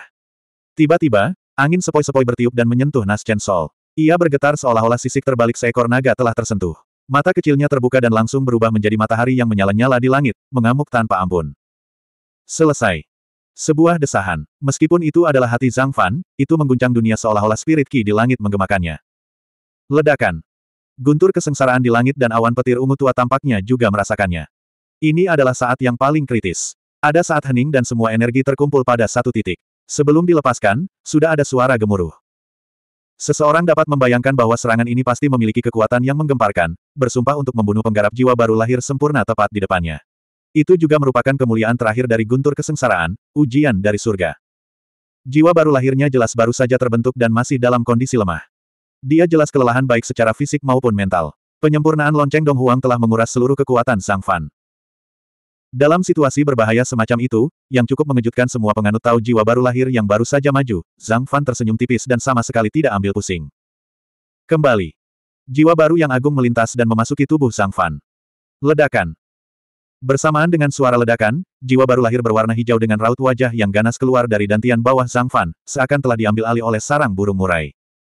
Tidak ada dua matahari di langit. Jiwa baru lahir yang agung memasuki tubuh dan jiwa baru lahir kedua meninggalkannya. Adegan itu sesuai dengan harapan Sang Fan. Itu juga merupakan kartu truf yang telah dia persiapkan. Hampir pada saat yang sama ketika jiwa baru lahir kedua dipaksa keluar dari tubuhnya, sebuah bayangan hitam tinggi dengan pedang ki yang tajam muncul di depannya seakan telah mencabik-cabik kehampaan. Menggabungkan. Awan petir menekan ke bawah dan dalam sekejap mata, awan itu akan menembus dunia. Suara yang memekakkan telinga dapat terdengar, menghancurkan semua perlawanan. Tanpa ragu sedikit pun, kedua telapak tangan Zhang Fan saling berhadapan dan tergenggam. Mengikuti tindakan Zhang Fan, jiwa baru lahir kedua dan klon pembudidaya pedang bergabung menjadi satu. Saat mereka menyatu, jiwa baru lahir kedua duduk di dantiannya. Aura mereka terhubung dan ki pedang melonjak. Naschen Soul kedua diperoleh dari Malevolent Sword dan merupakan Naschen Soul pedang sejak awal. Itu melengkapi klon kultivator pedang dengan sempurna. Lebih jauh lagi, mereka berdua adalah bagian dari Zhang Fan sejak awal. Karena mereka membawa darah esensi yang sama, tidak ada penolakan dan tidak perlu terlalu banyak penyempurnaan. Atau lebih tepatnya, gemuruh yang memekakkan telinga dari surga merupakan penyempurnaan akhir. Pada saat itu, sambaran petir kesengsaraan yang begitu tebal sehingga membutuhkan beberapa orang untuk melingkarkan lengan di sekitarnya dan semurni langit malam akhirnya menghantam dengan suara yang memekakkan telinga. Jika menghantam tanah, tanah akan tertembus. Jika menghantam lautan, lautan pasti akan menciptakan gelombang besar yang akan menenggelamkan pulau-pulau yang tak terhitung jumlahnya. Akan tetapi, benda itu ditakdirkan untuk tidak mendarat. Yang satu bergerak dan yang satu lagi diam. Di antara gerakan-gerakan itu, ia memperlihatkan ketajamannya dan menembus kekosongan. Zhang Fan duduk bersila dan memejamkan mata seolah-olah sedang bermeditasi. Klon kultivator pedang itu bangkit dan energi pedang yang melonjak darinya menghancurkan tanah dalam radius seribu kaki. Dia menyatu dengan pedang dan aura pedang itu bagaikan pelangi. Dalam sekejap, pedang itu bangkit dari tanah dan menerobos guntur kesengsaraan dan bergerak. Ledakan! Ledakan! Guntur bergemuruh seperti hujan. Kelihatannya bukan hujan badai, melainkan hujan musim semi. Hujannya tak berujung dan terfragmentasi, seolah-olah itu adalah hujan meteor yang paling indah. Tiba-tiba, Zhang Fan membuka matanya dan mengeluarkan raungan panjang yang bergema di seluruh dunia. Dalam gemuruh yang panjang, angin dan awan-awan surut. Debu telah mengendap dan awan-awan telah menghilang. Dunia kembali cerah. Naschen Sol telah terbentuk. Tiba-tiba, langit dipenuhi dengan energi spiritual. Setelah guntur kesengsaraan, jiwa baru lahir yang agung yang baru terbentuk dengan rakus menyerap semua energi spiritual dalam jarak 100 mil. Pada akhirnya, Cahaya itu berubah menjadi bola cahaya kemasan menyilaukan yang menyebar dari tubuh Zhang Fan dan terwujud, alam jiwa baru lahir. 834. Naschen Sol telah terbentuk. Awan badai menghilang, angin dingin mereda, dan dunia kembali cerah. Kecuali kehancuran dan bumi yang hangus, seolah-olah guntur yang turun selama enam jam itu tidak pernah terjadi. Di antara langit dan bumi, suara surga terus terdengar, dan bunga-bunga berjatuhan. Ini adalah perayaan langit dan bumi. Setelah pembaptisan kesengsaraan Guntur, dunia merayakan pencapaian jiwa baru lahir, yang melampaui bentuk kehidupan asli. Terbenam dalam ketenangan setelah badai, Zhang Fan tampaknya dapat mencium aroma tanah dan rumput. Ia merentangkan kedua tangannya, menghadap angin, seolah ingin memeluk dunia. Baru setelah benar-benar mencapai tahap jiwa barulah ia benar-benar menyadari perbedaannya. Rasanya seperti ia telah berjalan di rawa untuk waktu yang lama, terhuyung-huyung di es dan salju, dan mandek di air laut. Tiba-tiba, ia menarik kakinya keluar dari lumpur dan menginjakan kaki di daratan. Itu adalah kenikmatan yang tak terlukiskan. Jalan kultivasi adalah jalan transendensi. Tubuh manusia merupakan ketergantungan yang terbesar, namun ia juga merupakan hambatan yang terbesar. Meskipun ketika seseorang mencapai alam transformasi keilahian, roh primordial dapat bertahan hidup tanpa tubuh dalam waktu lama, kekuatan tubuhnya masih tak tertandingi. Ada keuntungan dan kerugiannya. Ketika seseorang lahir, ia terbungkus dalam tubuh. Tubuh itu awalnya dibentuk oleh hukum langit dan bumi, dan dibatasi oleh dunia. Jika ia tidak bisa membebaskan diri, ia tidak bisa melampaui batas. Oleh karena itu, langkah pertama menuju keabadian adalah menyingkirkan belenggu tubuh, mengambil keuntungan dan menghilangkan kerugian. Itulah kultivasi esensi, ki, roh, dan roh, yang dipadatkan menjadi bayi. Itulah penyelesaian agung alam jiwa baru lahir. Setelah ratusan tahun mengalami kesulitan, Zhang Fan akhirnya mengambil langkah ini. Jalan menuju keabadian ada di depannya, dalam jangkauannya. Energi spiritual yang tak terbatas terkumpul. Energi spiritual dalam radius puluhan mil, atau bahkan ratusan mil, diserap dan meresap ke dalam tubuhnya melalui kulit, mulut, dan hidungnya. Itu tidak seperti menyerap energi spiritual sama sekali, tetapi seperti energi spiritual mengalir masuk dengan paksa, dan dia tidak dapat menolaknya. Dengan kekuatan seorang kultivator jiwa baru lahir pemula, mustahil baginya untuk mengendalikan energi spiritual yang begitu besar. Ini adalah efek dari hukum langit dan bumi. Ini adalah hadiah untuk kehidupan baru setelah pembaptisan kesengsaraan Guntur. Jiwa baru lahir matahari agung yang awalnya kelelahan, dibawa infus ki spiritual, seperti dipeluk oleh hangatnya matahari musim dingin. Ruang di antara alisnya tiba-tiba menjadi hidup, dan langsung bangkit ke kondisi puncaknya. Kehangatan dan cahaya keemasan yang menyilaukan menyebar dari tubuh Zhang Fan ke segala arah secara hampir alami. Dalam jangkauan cahaya kemasan ini, energi spiritual tak berujung yang melonjak dicegat, diubah bentuknya, dan dikendalikan sesuka hati, berevolusi menjadi dunia lain. Itu adalah wilayah magis Naschen Sol. Domain Naschen Sol milik Zhang Fan adalah yang paling cocok dan ideal untuknya. Meskipun sudah terlambat puluhan tahun, domain ini baru mulai terbentuk untuk pertama kalinya. Ledakan. Dalam sekejap mata, dunia dalam radius beberapa ribu kaki berubah. Langit dan bumi menjadi gelap. Dunia yang cerah dan jernih berubah menjadi gelap gulita. Kegelapan jenis ini tidak suram, juga tidak mengagumkan. Itu hanyalah malam yang tenang, kegelapan suram dari zaman dahulu. Satu nafas, dua nafas, tiga nafas. Dalam kegelapan yang menyesakkan ini, hanya dalam beberapa saat, setitik cahaya bintang tiba-tiba menyala. Satu poin, dua poin, tiga poin. Pada akhirnya, ada 36 bintang di langit. Cahaya bintang yang dingin menyinari dunia, menerangi kegelapan, dan memberikan rasa tenang dan tentram. Berdiri di tengahnya, menatap ke atas ke-36 bintang dan membenamkan diri dalam keindahan cahaya bintang, orang-orang pasti akan merasa tersesat. Mereka hanya merasa bahwa 36 bintang itu terlalu sedikit di dunia yang begitu luas. Betapa hebatnya jika ada 365 bintang di langit untuk melindungi dunia manusia. Kemudian, pikiran itu sirna. Tiba-tiba, sebatang pohon merah menyala mekar di sebelah timur. Cahaya merah keemasan itu segera mengusir kegelapan, mengubah seluruh sudut timur menjadi dunia yang terang. Dalam kegelapan, Kunang-kunang kecil sekalipun akan sangat mencolok, apalagi pohon fusang yang tak tergoyahkan antara langit dan bumi. Itu adalah pohon fusang dengan burung gagak matahari emas besar yang bertengger di atasnya. Di pohon fusang, ada seseorang, seekor gagak emas, dan sebuah lonceng perunggu. Keduanya terbakar oleh api kemasan matahari, melenyapkan semua cahaya di dunia. Dong! Tiba-tiba, bel berbunyi. Pada saat itu, terdengarlah suara burung gagak. Di tengah bunyi lonceng Kaisar Timur, suara burung gagak bergema. Burung gagak emas matahari besar terbang dari pohon fusang dan berubah menjadi bola cahaya keemasan yang menyilaukan. Seluruh tubuhnya ditutupi oleh api keemasan yang menyala-nyala. Ledakan. Golden Crow telah pergi, kegelapan telah pergi, bintang-bintang telah pergi. Tiba-tiba, semuanya tampak masih di tempatnya, tetapi seolah-olah menghilang. Yang ada hanyalah matahari merah, muncul dari timur, terbit. Matahari terbit tampak begitu hidup. Di bawah cahaya terang, tabir misterius dunia yang diselimuti kegelapan akhirnya terangkat. Ke mana pun matahari lewat, kegelapan pun menghilang, memperlihatkan pemandangan pegunungan dan sungai. Seolah-olah dunia yang utuh telah muncul dari kegelapan di bawah cahaya matahari. Saat matahari terbit di tengah langit, cahayanya bersinar ke bawah, dan dunia luas pun terungkap tanpa titik buta apa pun. Segalanya, gunung memiliki ketinggiannya, sungai memiliki alirannya, danau memiliki ukuran, lautan memiliki kedalamannya, gurun memiliki oasisnya, gletser memiliki alirannya, hutannya rimbun, dan bunga serta rumputnya tumbuh subur. Terlepas dari kurangnya kehidupan, itu seperti dunia nyata yang tak terbatas. Fiuh. Setelah menghela napas panjang, Zhang Fan berdiri di pohon fusang dan menyaksikan matahari terbit dan bulan terbenam. Ia menyaksikan burung gagak emas terbang ke langit berulang kali. Matahari terbit yang semarak, kecemerlangan di tengah langit, dan kemegahan matahari terbenam, semuanya menunjukkan perubahan alami matahari dan bulan. Inilah alam jiwa baru Zhang Fan.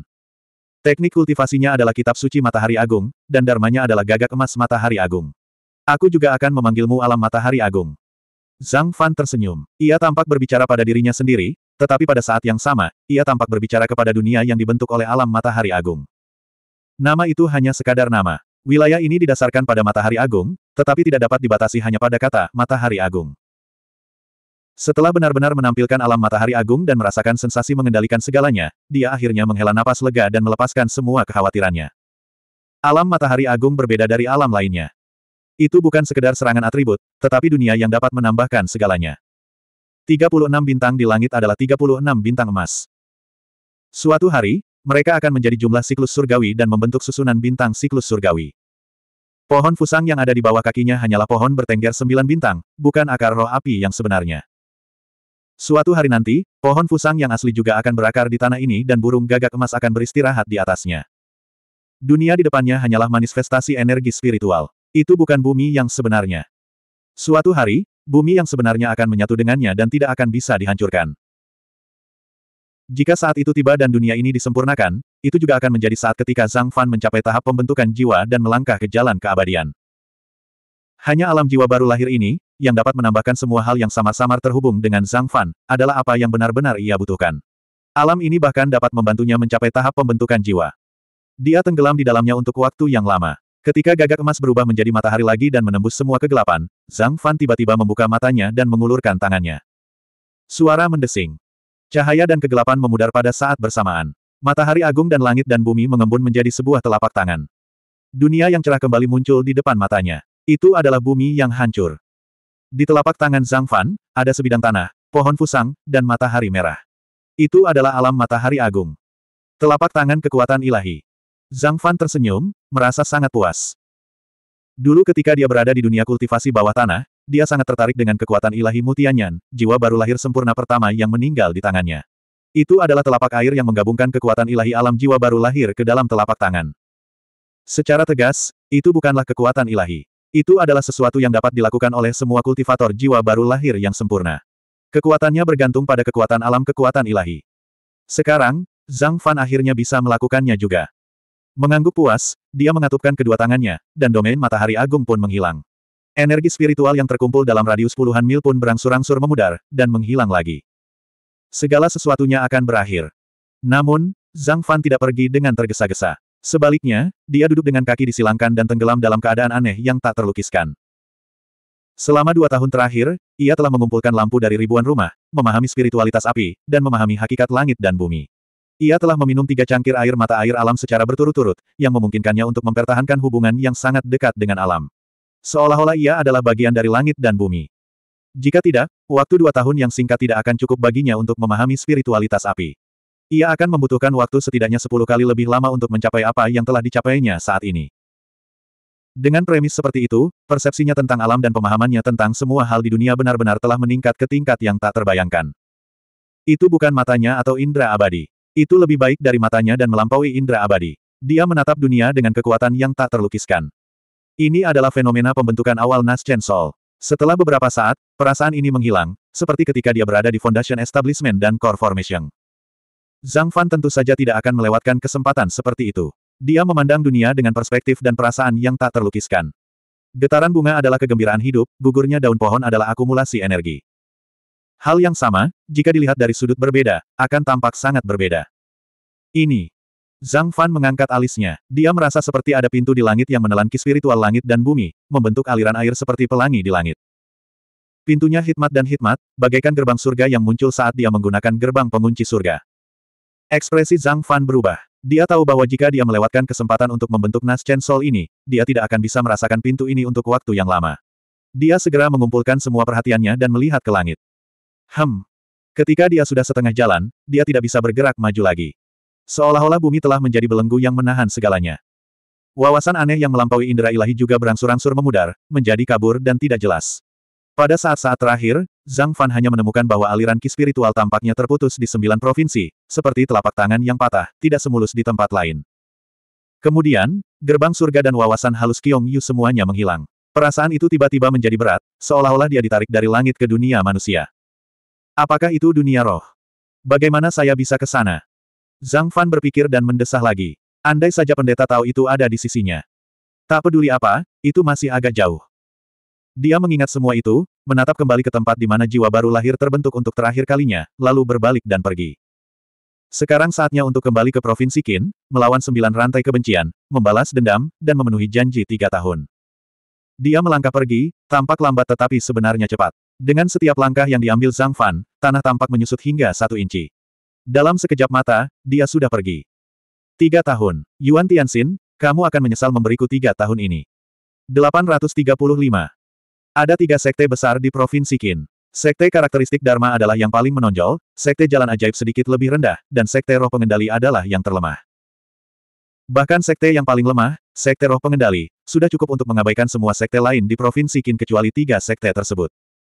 Inilah kekuatan sebuah sekte, dan inilah juga sumber kekuatannya. Jalur ajaib adalah kekuatan terbesar kedua di Provinsi Qin. Bagi para kultivator lain di Provinsi Qin, lokasi gunungnya bukanlah tempat yang baik. Di dunia kultivator, kontak tidak dapat dihindari. Di tempat seperti ini, kultivator kecil mana pun dapat menarik perhatian para ahli jalan ajaib. Selain itu, jalan ajaib adalah cabang dari sekte iblis, jadi mereka bahkan lebih tidak bermoral. Oleh karena itu, para kultivator provinsi Qin menganggapnya sebagai jalan yang berbahaya. Namun hari ini, di luar gerbang gunung jalan ajaib, cahaya yang mengalir menari-nari. Para pembudidaya dari semua sisi telah berkumpul, dan suasananya semarak dan berisik seperti pasar. Khususnya, tidak jauh dari gerbang gunung jalan ajaib, ada sebuah tempat yang disebut Danau Tujuh Harta Karun. Itu adalah tempat dengan jumlah kultivator terbanyak dan kultivator terkuat. Langit di sana memantulkan tujuh warna. Warnanya sangat indah, seolah-olah pita-pita pelangi yang tak terhitung jumlahnya terjalin di sini, bercampur dengan cahaya matahari terbenam. Keindahannya tak tertandingi. Ini adalah cahaya dari sejumlah besar kultivator yang terbang di langit. Itu adalah pemandangan aneh yang terpantul dari danau tujuh harta karun di bawah. Ada juga awan dan langit, seperti pemandangan indah di dunia. Pemandangan aneh yang membuat semua orang yang hadir berdecak kagum ini disebut Danau Tujuh Harta Karun, dan danau ini terdiri dari tujuh danau yang saling terhubung. Yang terkecil berdiameter beberapa puluh meter, sedangkan yang terbesar memiliki keliling beberapa ratus meter. Karena kedalamannya berbeda, ketujuh danau ini memantulkan warna-warna yang indah dan beraneka warna di bawah cahaya matahari. Terutama area tempat setiap dua danau berpotongan, warnanya berubah antara terang dan gelap, dan sebenarnya tampak sedikit mirip dengan formasi ilusi besar di domain ilusi. Dilihat dari langit, danau tujuh harta karun tampak bagaikan tujuh keping batu permata beraneka warna, yang bertatahkan satu sama lain dan disusun di tanah. Tiga tahun yang lalu, tidak ada tempat seperti danau tujuh harta karun, dan tidak ada pemandangan seperti itu. Itu hanyalah pemandangan hutan biasa. Bahkan para kultivator jalan ajaib tidak tahu namanya. Pada hari itu, Dewa Donghua dari Sekte Karakteristik Dharma bertarung dengan Yuan Tianxin dari Sekte Houtu Liangsu. Yuan Tianxin menggunakan harta karun kuno, kibawaan embrio primordial bumi, sebagai perisai untuk melancarkan serangan diam-diam terhadap Dewa Donghua. Donghua Zenren terkejut, tetapi ia masih berhasil bertahan melawan serangan puncak dari Nine Chains of Head Ground, yang telah membunuh banyak master di tahap tengah Yuanying Realm. Ia bahkan melakukan serangan balik dan melukai Yuan Tianxin dengan serius, memaksanya untuk melarikan diri. Penampakan Danau Tujuh Harta Karun saat ini disebabkan oleh gelombang kejut dari bentrokan antara dua ahli. Itu hanyalah akibat dari satu serangan, namun mampu mengubah langit dan bumi, menyebabkan perubahan besar dan pemandangan yang ajaib. Hal ini membuat para kultivator yang berkumpul di dekatnya mendesak kagum, dan mereka juga terpesona oleh kedua ahli hebat itu, berharap mereka dapat bertemu dengan mereka. Keinginan ini tidak sulit untuk diwujudkan. Tiga tahun kemudian, dua Naschen Soldaois, yang berarti, hari ini, mereka masih akan bertarung sampai mati di tempat ini. Berita ini menyebar dengan cepat di prefektur Qin dan prefektur Yongliang, bahkan menyebar hingga ke laut lepas dan perbatasan prefektur lainnya. Semua ini terjadi dalam waktu tiga tahun, yang benar-benar sebuah keajaiban. Hari ini adalah hari pertempuran yang disepakati kedua belah pihak, itulah sebabnya banyak pembudidaya berkumpul bersama. Di antara mereka, jajaran yang paling mengesankan tentu saja adalah sang sempurna dari prefektur Qin. Jiutian Feng Jiuling yang sempurna melambangkan sekte karakteristik Dharma, Kerangka yang sempurna melambangkan para ahli jalan ajaib, dan roh yang sempurna dipimpin oleh Tian Hou yang sempurna.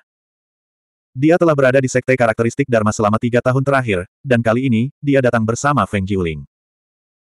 Dengan begitu banyaknya Naschen Sol Daois yang muncul di saat yang sama, itu bagaikan sebuah pemandangan yang luar biasa, menarik perhatian banyak kultivator di dekatnya. Lagi pula, orang-orang ini biasanya angkuh dan berkuasa, bagaimana mereka bisa terlihat dengan mudah. Sekarang mereka sudah punya kesempatan, tentu mereka ingin melihat sebanyak-banyaknya yang mereka inginkan. Feng Jiuling dan yang lainnya adalah orang-orang yang berpengalaman dan telah melihat berbagai kejadian. Mereka tidak menganggapnya serius sama sekali dan hanya mengobrol di antara mereka sendiri. Feng Tua, apa yang sedang kalian pikirkan? Anda benar-benar mengirimi mereka undangan untuk menonton pertempuran itu. Di samping Feng Jiuling, Perfected Skeleton membungkuk dan bertanya dengan heran. Mereka, yang dia maksud adalah sekelompok orang yang berkumpul di arah lain, dan menjaga jarak tertentu dari para kultivator di dekatnya dan para kultivator dari Provinsi Qin. Mereka yang pernah ikut serta dalam pertempuran di White Bonnet City mengenali beberapa di antara mereka sekilas, terutama dua orang yang sangat menarik perhatian.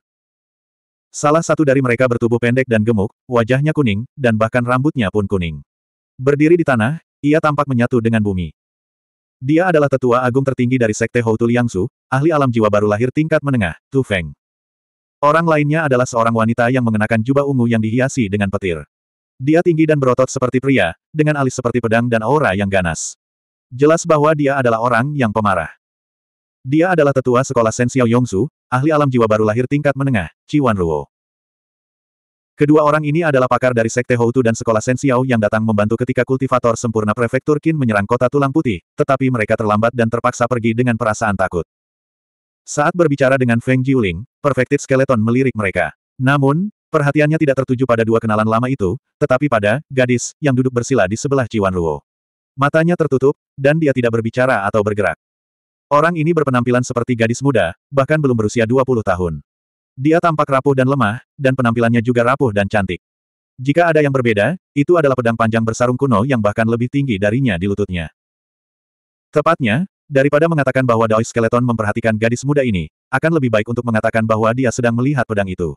Dari waktu ke waktu, dia juga secara tidak sadar akan melirik Asura bannernya, bola matanya berputar, tidak tahu apa yang sedang dipikirkannya. Sama seperti dia, pandangan Feng Jiuling kerap kali tertuju pada pedang sesaat sebelum dia menjauh. Pedang pembunuh abadi hukuman ilahi. Apakah gadis ini adalah utusan pedang pembunuh abadi hukuman ilahi dari generasi ini? Feng Jiuling menghela napas. Jelas, dia tidak melihat banyak petunjuk, tetapi dia sudah lama mendengar tentang pedang kuno itu. Harta warisan sekolah Sen Xiao, harta karun kuno, pedang pembunuh abadi hukuman ilahi. Di bawah guntur surgawi, kekuatan hukuman ilahi bahkan akan membunuh makhluk abadi. Sungguh arogan, tapi itu memenuhi syarat. Legenda mengatakan bahwa harta karun ini adalah harta karun pribadi dewa monster yang terkenal di zaman kuno. Dewa tahu berapa banyak makhluk abadi yang telah terbunuh olehnya, dan harta karun ini sesuai dengan namanya, pedang pembunuh abadi. Pedang pembunuh abadi hukuman ilahi ini tidak ditempa oleh dewa monster itu, jadi asal-usulnya tidak diketahui, tetapi kekuatannya tidak diragukan lagi. Di sekolah Sen Xiao, mereka yang dapat menggunakan pedang pembunuh abadi hukuman ilahi disebut utusan pedang. Ini berarti bahwa mereka tidak menggunakan pedang ilahi, tetapi hanya utusan yang dipilih oleh pedang ilahi. Dari sini, orang dapat melihat betapa mereka menghargai pedang pembunuh abadi hukuman ilahi. Dong Hua mengirim pesan. Menarik pandangannya dari utusan pedang, Feng Jiuling menjawab pertanyaan kerangka sempurna sebelumnya. Oh, apa yang dia katakan? Skeleton yang sempurna bertanya.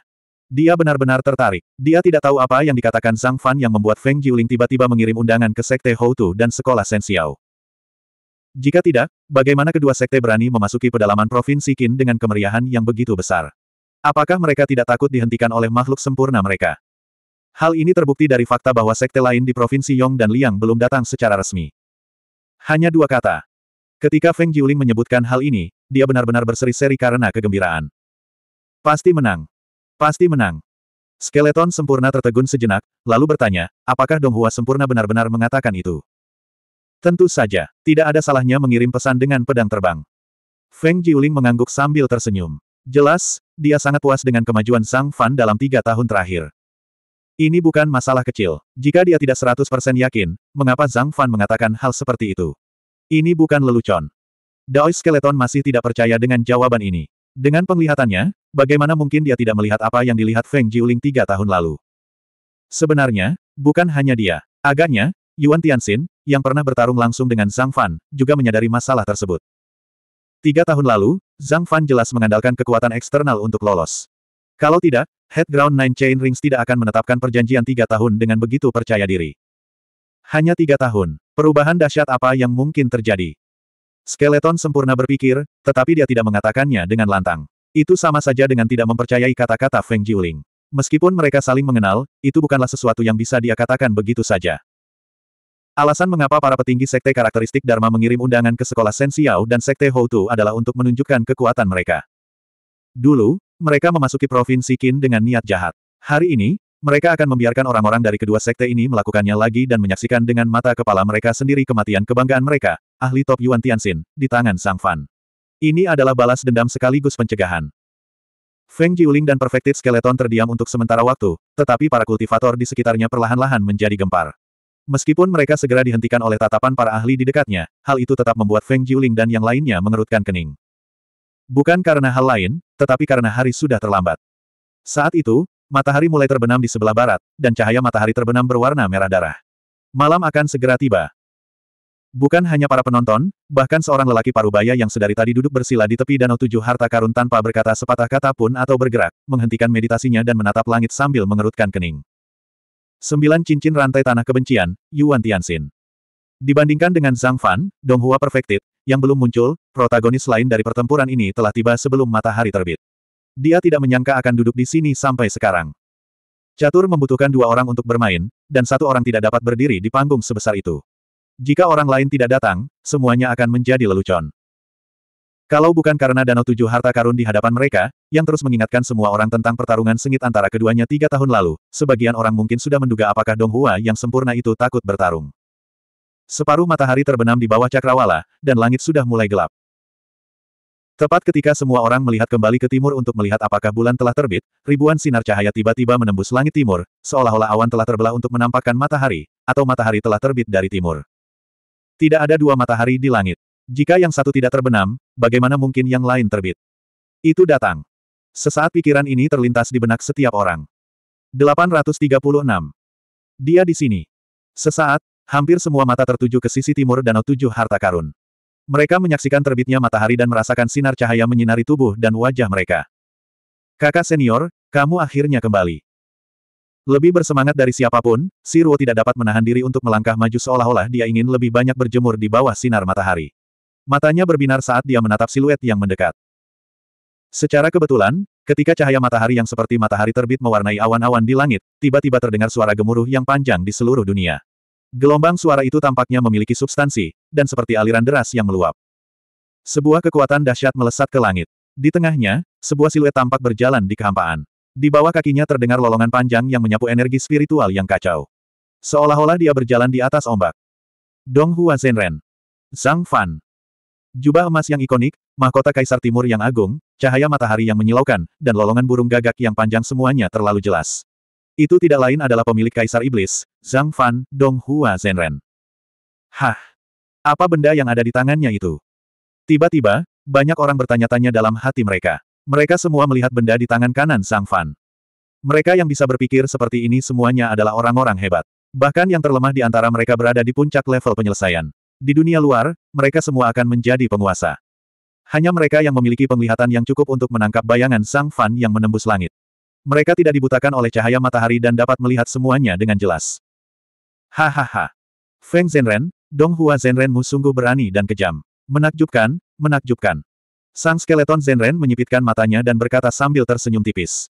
Jika dia bisa melihat semuanya dengan jelas, mengapa Feng Jiuling tidak bisa?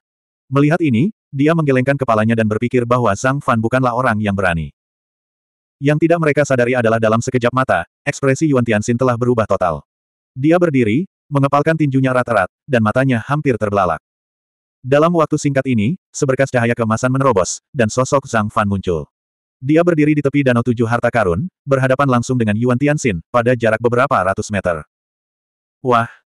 Dia dengan acuh tak acuh meletakkan barang-barang di tangannya dan memberi isyarat kepada Feng Jiuling dan yang lainnya.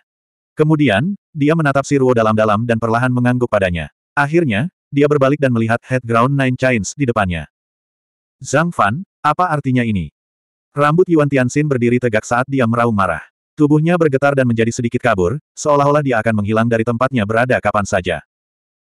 Tepat pada saat itu, Zhang Fan tiba-tiba mengambil langkah ke samping, tepat di depan benda yang dilemparnya, dan menatapnya dengan santai.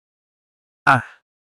Pada saat ini, banyak pembudidaya tingkat rendah di kejauhan akhirnya melihat dengan jelas bahwa objek di tangan Zhang Fan yang menyebabkan Head Ground Nine Chains bertindak seperti ini sebenarnya adalah seseorang.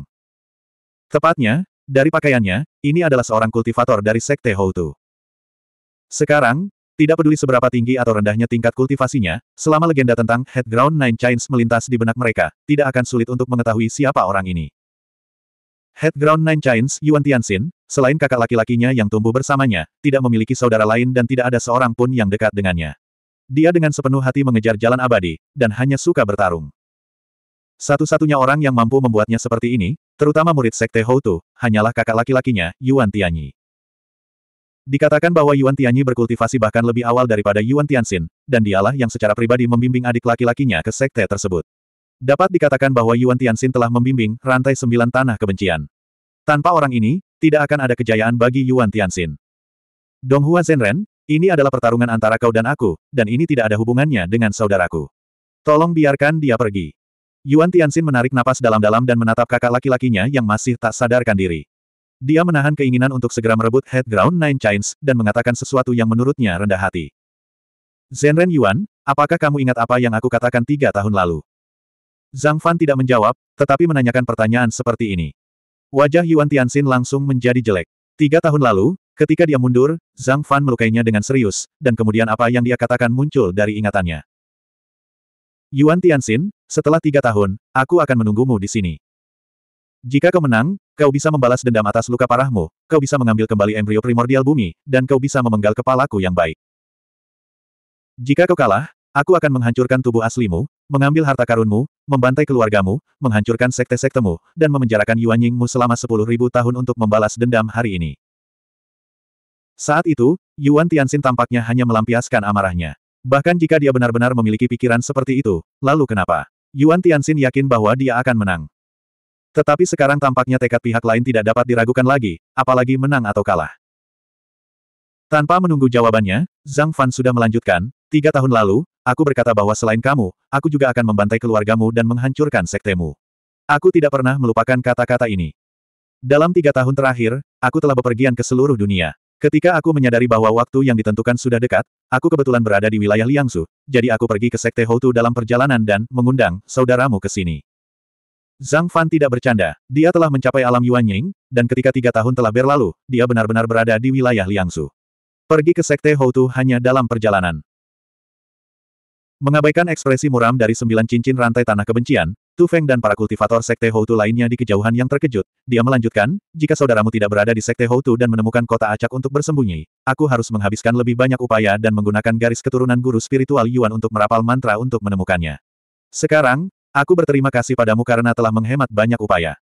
Ekspresi Yuan Tianxin sudah tidak bisa digambarkan lagi sebagai buruk rupa. Wajahnya hitam seperti dasar wajan. Bahkan Tu Feng dan yang lainnya pun memiliki ekspresi yang sangat muram, dan mereka tampak seolah-olah tidak menginginkan apa pun selain melahapnya hidup-hidup.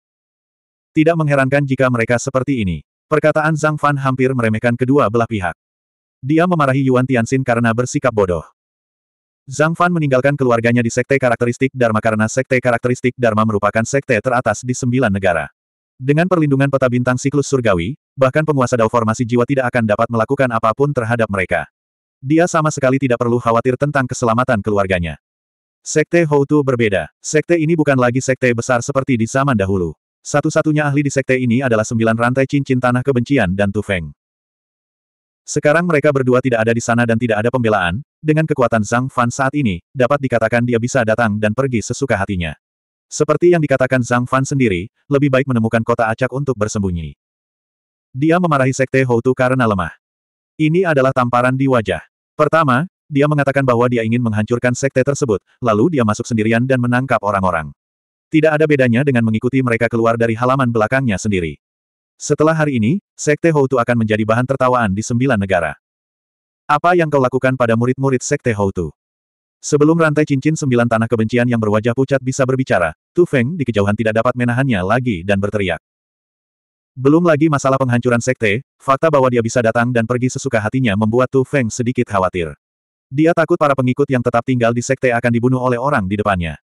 Jika itu masalahnya, mereka akan mati. Ketika Zhang Fan mendengar ini, dia meliriknya dan berkata dengan acuh tak acuh, Tuan Tu, jangan khawatir. Sekte Houtu aman dan sehat. Saya tidak melakukan apa pun. Sekte Houtu tidak boleh dihancurkan hanya oleh tanganku saja. Kata-kata ini datang begitu saja, dan tidak ada yang bisa mengerti apa maksudnya. Namun, apa pun yang terjadi, setidaknya Tu Feng tenang dan tidak mengatakan apa-apa lagi. Tuan Donghua, bagaimana menurutmu? Yuan Tianxin menatap tajam ke arah saudaranya yang tergeletak di tanah dan bertanya. Tidak ada apa-apa. Zhang Fan menggelengkan kepalanya. Dengan lambaian lengan bajunya, dia melemparkan Yuan Tianyi ke belakangnya dan mendarat di tempat sang sempurna dari sekte karakteristik Dharma berada. Dia melanjutkan, sudah kubilang sebelumnya, ini hanya di tengah jalan. Jika kau menang nanti, sekte karakteristik Dharmaku tidak akan mempersulitmu. Kau bisa membawa saudaramu kembali tanpa cedera. Jika kamu kalah. Sisa kalimatnya, Zhang Fan tidak mengatakannya, dan tidak perlu mengatakannya. Inilah alasan mengapa dia membawa Yuan Tianyi ke sini. Baiklah, aku percaya padamu. Yuan Tianxin memandang saudaranya yang diusir dari medan perang dan menghela napas lega. Ia yakin bahwa Zhang Fan berkata jujur, karena jika Zhang Fan ingin mengguncang pikirannya, ia hanya perlu membawa kepala manusia. Terlebih lagi, bagi seorang kultivator di levelnya, berapa banyak orang yang akan kehilangan rasa kesopanannya karena hal seperti itu. Jika memang begitu, dia tidak akan hidup hari ini. Begitu dia mengatakan ini, Yuan Tianxin menjadi tenang, seolah-olah hanya ada Zhang Fan di depannya. Di dalam hatinya, hanya ada pertempuran hidup dan mati, tidak ada yang lain. Suasana tiba-tiba menjadi hikmat, dan bahkan orang-orang yang menyaksikan pertempuran di kejauhan tanpa sadar menahan napas. Zhang Fan mengangguk ke arah Head Ground Nine Giants, dan melambaikan lengan bajunya. Sesosok tubuh mendarat di tanah lebih dari sepuluh kaki jauhnya. Ada energi mayat yang menjulang tinggi bercampur dengan energi spiritual bumi yang kaya. Begitu dia mendarat, dia tampak menyatu dengan denyut nadi bumi. Seorang abadi di bumi. Kau ingin menggunakan dewa bumi untuk menghadapiku. Kau terlalu meremehkanku. Yuan Tianxin meliriknya dengan pandangan menghina dan tidak menganggapnya serius sama sekali. Setelah mengalami kerugian besar di masa lalu, bagaimana mungkin dia tidak mempelajarinya? Dia sudah tahu bahwa itu adalah Dewa Bumi, yang merencanakan melawannya di masa lalu, tetapi itu hanya produk setengah jadi. Bagaimana mungkin itu bisa menyakitinya ketika dia sudah siap? Hanya dengan tatapannya saja, dia menggerakkan energi spiritual di sekitarnya dan momentum dahsyat membubung ke langit. Dia berkata, saya memperoleh kibawaan dari embrio primordial bumi hanya beberapa tahun yang lalu. Tiga tahun yang lalu, saya bertarung dengan Anda, dan saya tercerahkan. Saya meramalkan bahwa saya akan mengalami terobosan dalam tiga tahun, jadi saya membuat janji temu tiga tahun dengan Anda. Hari ini, silakan cicipi, Donghua Zenren. Di akhir pidatonya, seakan-akan selaras dengan denyut bumi, setiap kata yang diucapkannya membuat bumi sedikit bergetar. Yuan Tianxin mengangkat tangannya tinggi-tinggi, dan sebuah bayangan samar muncul di tubuhnya. Itu tebal dan bersahaja, dan di tengahnya, ada embrio primordial. Itu adalah harta karun kuno, kibawaan embrio primordial bumi. Sudah dimulai. Semua penonton berdebar-debar, bahkan Feng Jiuling dan yang lainnya, yang sebelumnya paling percaya diri, tidak dapat menahan rasa gugup. Menurut sembilan rantai tanah kebencian, Yuan Tianxin telah membuat kemajuan besar. Silakan. Zhang Fan tampak sedikit serius. Dia membalikkan tangannya, dan lonceng Dong Huang yang terlahir kembali muncul di tangannya. Ledakan. Ledakan. Terdengar dua suara gemuruh berturut-turut. Satu datang dari bawah tanah, seolah-olah seekor naga bumi sedang berputar.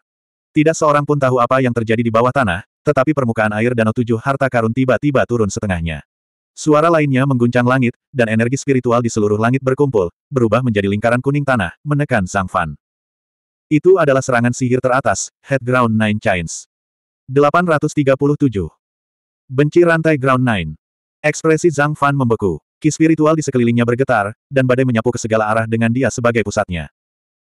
Tiga tahun yang lalu, ketika dia nyaris lolos dari kematian, ketika Sang Taois pertapa mengorbankan dirinya, dia tidak pernah melupakan kejadian itu selama tiga tahun terakhir. Sekarang, dia akhirnya menghadapi serangan gabungan dari embrio asal bumi kibawaan dan sembilan rantai tanah kebencian. Embrio asal bumi kibawaan memang merupakan harta karun kuno. Feng Jiuling, yang menyaksikan pertempuran dari jauh, tiba-tiba mendesah dengan sedikit kekhawatiran di matanya. Tidak buruk. Sungguh kekuatan yang mengerikan. Bahkan tanpa Earth Fetus Code, Inateki Earth Origin Embryo tetap merupakan harta karun kuno yang sangat kuat. Sang Tao Kerangka di samping sedikit gemetar, merasakan perubahan di bumi, dan berkata dengan ekspresi bermartabat. Tak hanya mereka berdua, seluruh penonton pun turut berseru. Dalam sekejap, ia menyerap sejumlah besar ki spiritual bumi, bahkan menyebabkan bumi berubah dan permukaan air danau tujuh harta karun anjlok. Itulah sebabnya ada serangan yang begitu cepat dan kuat. Kalau saja dia tidak memiliki harta karun ini, kesampingkan seberapa besar kekuatan, Head Ground Nine Chains akan berkurang, sudah pasti dia tidak akan bisa melaksanakannya dengan mudah. Pikiran dan pujian mereka terhadap embrio asal bumi kibawaan sama sekali tidak terlintas di benak Zhang Fan. Pada saat ini, hatinya tenang. Hanya ada satu orang di depannya, dan satu kekuatan magis. Dia telah menunggu momen ini terlalu lama. Dong. Namun dengan sebuah pikiran, lonceng Dong Huang melayang ke atas, menghalangi antara lingkaran pertama tanah kebencian dan Zhang Fan. Tiba-tiba, lonceng itu berbunyi, dan suara yang mengerikan itu berubah menjadi gelombang suara yang besar, membungkus ki spiritual di langit dan melonjak keluar. Cincin pertama rusak. Di bawah dentingan lonceng Dong Huang, serangan pertama dari sembilan serangan berturut-turut tanah kebencian, hancur berkeping-keping, memenuhi langit dengan kilauan. Ini adalah kekuatan lonceng Dong Huang yang terlahir kembali. Jika itu di masa lalu, paling-paling hanya mampu menahan gelombang serangan pertama, dan tidak akan mudah rusak. Bukan hanya dia, Yuan Tianxin juga memahami hal ini. Wajahnya menjadi gelap, dan dia berteriak. Telapak tangannya berubah menjadi segel besar, menarik spiritual bumi untuk menutupi kedua cincin itu. Cincin kedua, cincin ketiga. Kengerian sembilan rantai, tanah kebencian, tidak terlihat pada serangan pertamanya, juga tidak pada setiap serangannya. Sebaliknya, teror itu terlihat pada rangkaian serangannya yang tiada henti, di mana setiap rangkaian lebih kuat dari rangkaian sebelumnya. Menghadapi pukulan mengerikan yang beberapa kali lebih kuat dari gunung, jubah Zhang Fan berkibar dan rambut hitamnya berkibar tertiup angin. Tanah di bawah kakinya retak, tetapi dia tidak menunjukkan perubahan apa pun dalam ekspresinya. Dia hanya mengulurkan telapak tangan dan menekannya ke lonceng Dong Huang. Ledakan, ledakan, ledakan. Dalam sepersekian detik, suara lonceng Dong Huang yang menggetarkan bumi meredam gemuruh angin yang memenuhi dunia. Gelombang suara itu bagaikan gelombang dahsyat yang terus-menerus naik. Ledakan. Suara ledakan mengguncang langit dan bumi. Kedua cincin itu hancur, dan gelombang suara menyebar ke segala arah, menyapu semua energi spiritual yang tersebar. Meskipun itu hanya gempa susulan, itu bukanlah sesuatu yang dapat ditahan oleh orang biasa. Untuk sesaat, penonton di sekitarnya semua terpental mundur, tidak berani menghadapi tepian yang tajam. Menyaksikan pertempuran itu adalah satu hal, tetapi jika mereka secara tidak sengaja terluka akibat gempa susulan, itu akan sangat tidak adil. Mereka yang tetap tinggal di tempat mereka berada adalah semua kultivator sempurna di alam jiwa baru lahir. Hanya ahli tingkat ini yang dapat memastikan bahwa mereka tidak akan terluka oleh gempa susulan dan dapat menyaksikan pertempuran dari jarak dekat. Serangan yang memaksa ratusan ribu kultivator berhamburan ini hanyalah hidangan pembuka di mata Yuan Tianxin dan Zhang Fan. Puncak acara yang sesungguhnya akan segera tiba. Luar biasa, luar biasa. Zhang Fan, aku ingin melihat berapa banyak cincin yang bisa kau tahan. Hahaha. Yuan Tianxin tertawa terbahak-bahak. Embrio bumi kibawaan bersinar terang, dan pusaran kuning tanah yang tak terhitung jumlahnya muncul dan mengelilingi embrio bumi. Di bawah penyerapan yang hampir seperti penjarahan, semua orang yang masih berpijak di tanah merasakan kaki mereka menjadi lunak. Rasanya seperti mereka menginjak salju atau jatuh ke rawa. Transformasi pasir. Zhang Fan sedikit mengernyit. Dari sudut matanya, dia melihat bahwa tanah di bawah kakinya setengah tertutup pasir kuning. Tempat ini awalnya adalah hutan dengan banyak tanaman dan tanah, dan berada di pedalaman Provinsi Qin. Bagaimana bisa tempat ini menjadi gurun? Tak perlu dikatakan lagi, Yuan Tianxin telah menggunakan Conateki Earth Chen Embryo untuk mengekstraksi kekuatan bumi dengan sangat ganas, menghancurkan separuh daratan dalam radius beberapa mil. Menakutkan. Serangan ini tidak mudah untuk diterima. Banyak orang menyadari hal ini dan memahami inti permasalahannya. Saat energi unsur tanah diekstraksi dari tangan Yuan Tianxin, enam lingkaran cahaya kuning tanah muncul secara berurutan. Dari saat Yuan Tianxin berbicara hingga munculnya enam lingkaran cahaya kuning yang melambangkan kekuatan besar, hanya butuh sekejap mata. Hampir pada saat yang sama, gelombang serangan ketiga tiba. Gemuruh. Kekuatan serangan ini jauh melampaui tiga cincin sebelumnya. Hanya dari momentum yang besar dan suara udara yang terkoyak seperti guntur yang menggelegar, orang dapat mengatakan bahwa bahkan jika kekuatan tiga cincin sebelumnya ditambahkan bersama-sama, itu tidak akan sekuat serangan ini. Ketika mereka memikirkan serangan bertubi-tubi yang bahkan lebih dahsyat dari kelima cincin itu yang bahkan tidak akan menyisakan kesempatan bagi mereka untuk mengatur napas dan membalas, semua orang terdiam. Baru sekarang mereka benar-benar mengerti bagaimana reputasi gemilang, Head Ground Nine Chains muncul. Berapa banyak dering yang bisa kamu blokir? Di tengah angin kencang, Zhang Fan tiba-tiba terkekeh. Dia menutup mata terhadap kekuatan mengerikan yang menekan dari langit dan menyebabkan seluruh bumi runtuh. Dia dengan tenang berkata, aku tidak pernah bermaksud menghalanginya. Suara ini berasal dari angin kencang dan tidak terpancar melalui aliran kiroh. Namun anehnya, semua orang dapat mendengarnya dengan jelas, di mana pun mereka berada. Pada saat yang sama ketika suara itu memasuki telinga mereka, kebanyakan orang tidak dapat menahan diri untuk tidak mengerutkan kening. Mereka merasakan sakit yang menyengat di telinga mereka, seolah-olah ada pedang kecil yang tak terhitung jumlahnya menusuk mereka. Suara mendesing. Gelombang udara putih, dengan kepala Zhang Fan sebagai pusatnya, bagaikan bilah pisau tajam yang menebas, langsung membelah spirit ki yang memenuhi langit menjadi dua. Tepat saat suara sutra terbelah ribuan kali memasuki telinga mereka, sebuah sosok tiba-tiba muncul dari tubuh Zhang Fan dan menyerbu ke langit. Awalnya, semua orang masih samar-samar melihat sosok tinggi yang memegang pedang panjang di tangannya. Ketika mereka ingin melihat lebih dekat, mereka merasakan sakit yang menyengat di mata mereka, seolah-olah pasir mengalir ke mata mereka. Pedang Ki. Pedang Ki yang mengerikan menyebar jauh dan luas dengan suara Zhang Fan. Itu adalah pedang Ki yang memasuki telinga mereka. Sekarang, seolah-olah itu juga pedang Ki yang menusuk mata dengan sekali pandang. Dalam sekejap, semuanya tidak dapat terlihat dengan jelas. Mereka hanya dapat melihat pedang Ki yang memenuhi langit dan melilit sosok tersebut. Seolah-olah itu adalah wilayah pedang, dan melesat menuju cincin keempat tanah kebencian. Arus tengah menghantam kapal, ombak menghentikan kapal terbang.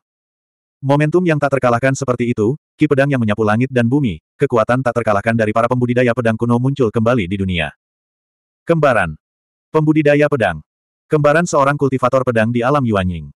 Seruan demi seruan terdengar dari mana-mana. Setelah beberapa seruan berturut-turut, setiap seruan menjadi lebih komprehensif daripada sebelumnya, dan seluruh gambaran terungkap dalam sekejap mata. Dari sini, terlihat betapa cepatnya doppelganger dari pendekar pedang itu muncul dan menyerang. Kata, kilat tidak cukup untuk menggambarkan ketajaman momen itu.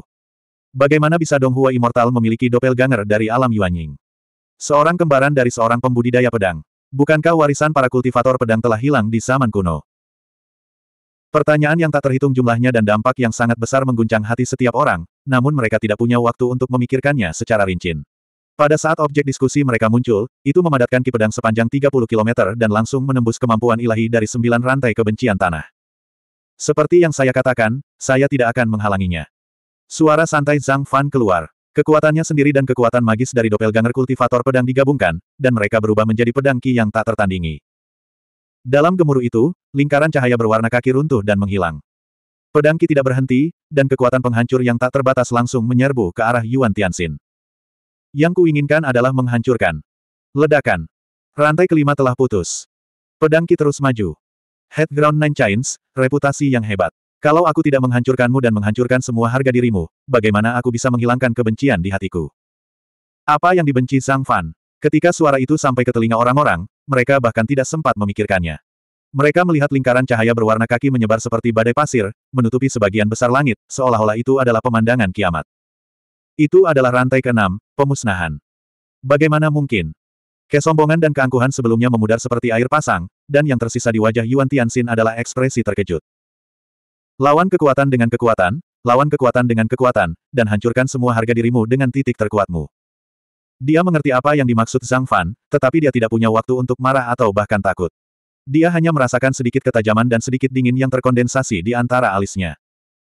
Melawan arus, doppelganger dari alam Yuanying mematahkan beberapa rantai dengan satu pedang dan sudah mendekatinya.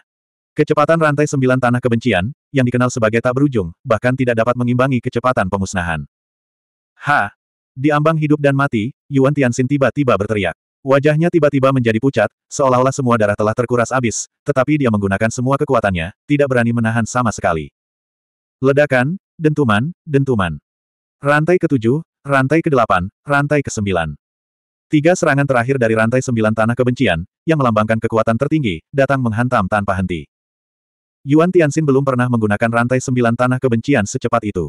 Pertama, ia menghabiskan terlalu banyak energi, dan kedua, tidak ada cara untuk mengubah arah.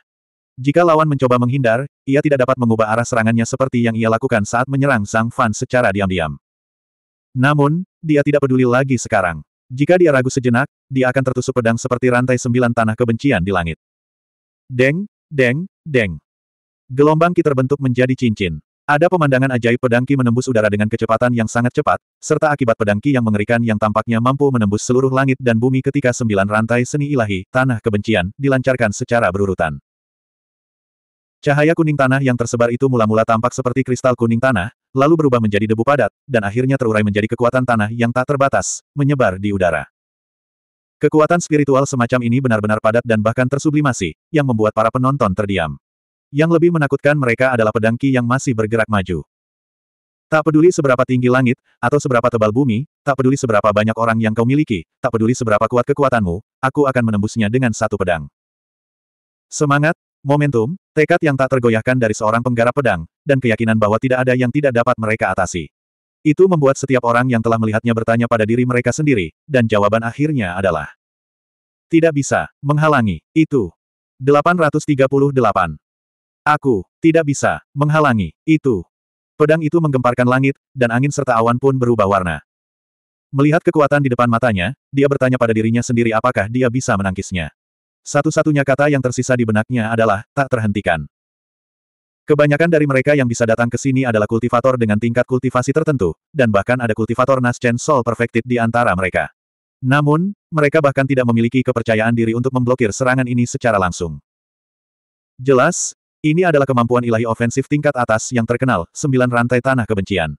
Namun pada saat ini, seolah-olah semua yang ada di dunia telah lenyap, dan hanya pedang Ki yang tak terhentikan dan mengejutkan yang memenuhi seluruh bidang penglihatan. Pendekar pedang kuno itu telah menghilang puluhan ribu tahun yang lalu, dan warisannya pun hancur. Kekuatan yang mendominasi dan tak terkalahkan yang hanya dapat ditemukan dalam buku-buku kuno muncul kembali di hadapan semua orang saat ini. Ke mana pun ki pedang melintas, langit tampak terkoyak. Cincin ketujuh putus. Cincin kedelapan hancur.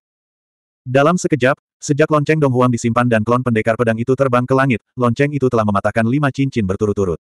Pedang ki setinggi sepuluh ribu kaki itu tampaknya telah mencapai batasnya. Pedang Ki itu tidak lagi berubah menjadi pedang Ki besar yang dapat membelah langit dan bumi, tetapi secara bertahap menjadi padat.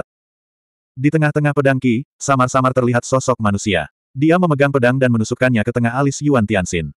Saat dia memperlihatkan wujud manusianya, dia tampak lebih mengerikan.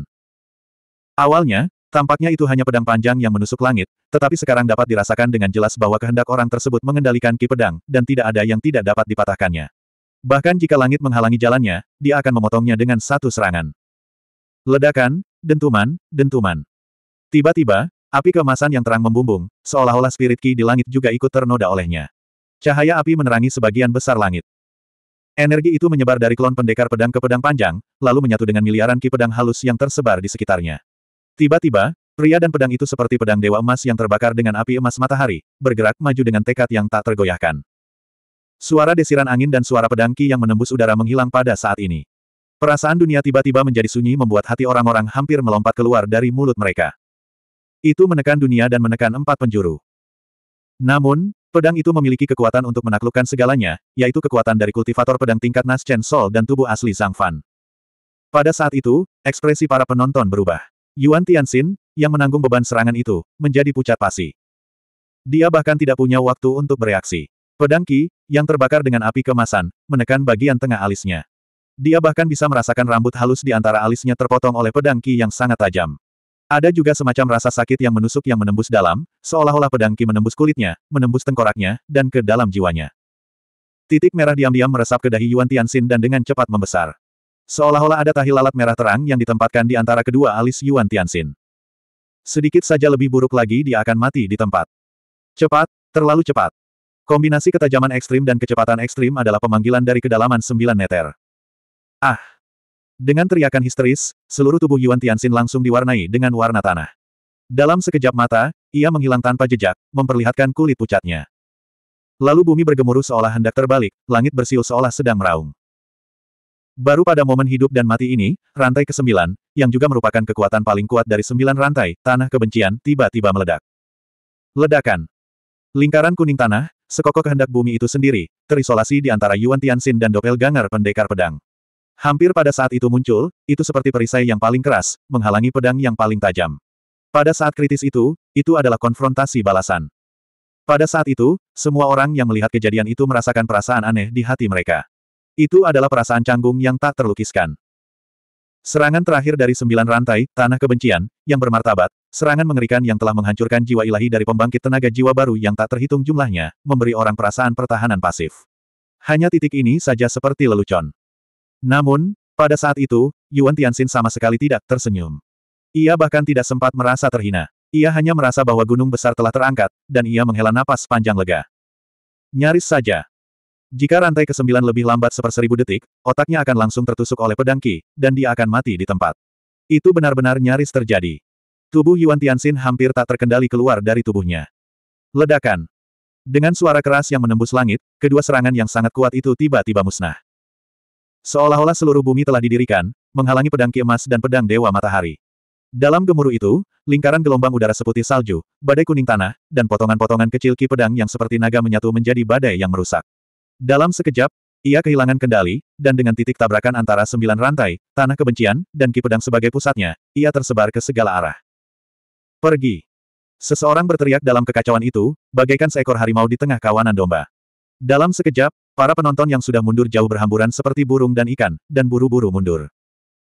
Di bawah gelombang udara yang dahsyat dan merusak, mereka tidak merasakan sedikit pun rasa aman.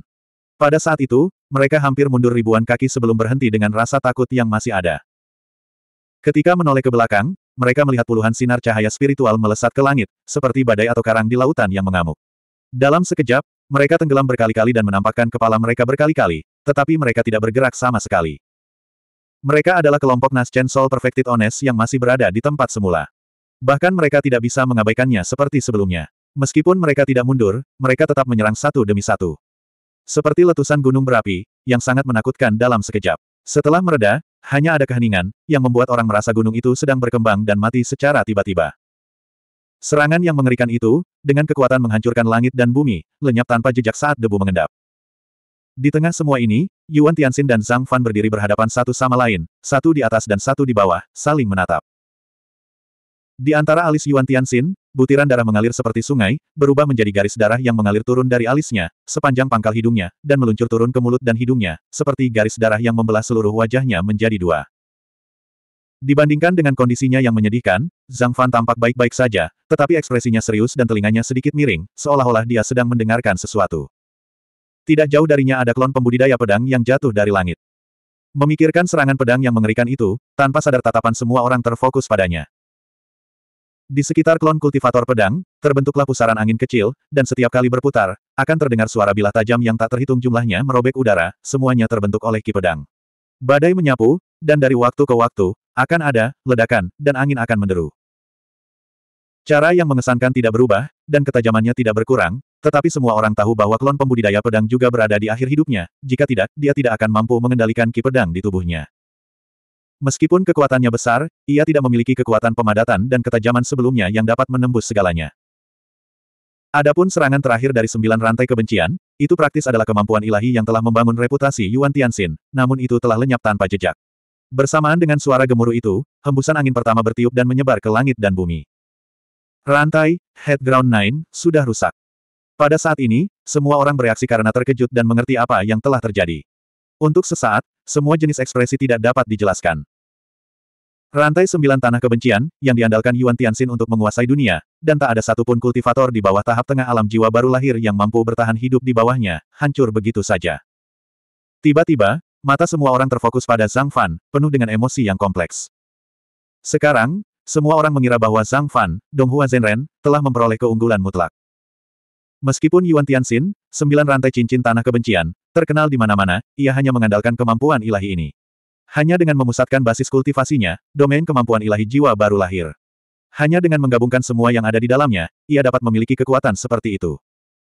Sekarang, rantai sembilan tanah kebencian, telah hancur, apa yang tersisa pada Yuan Tianxin.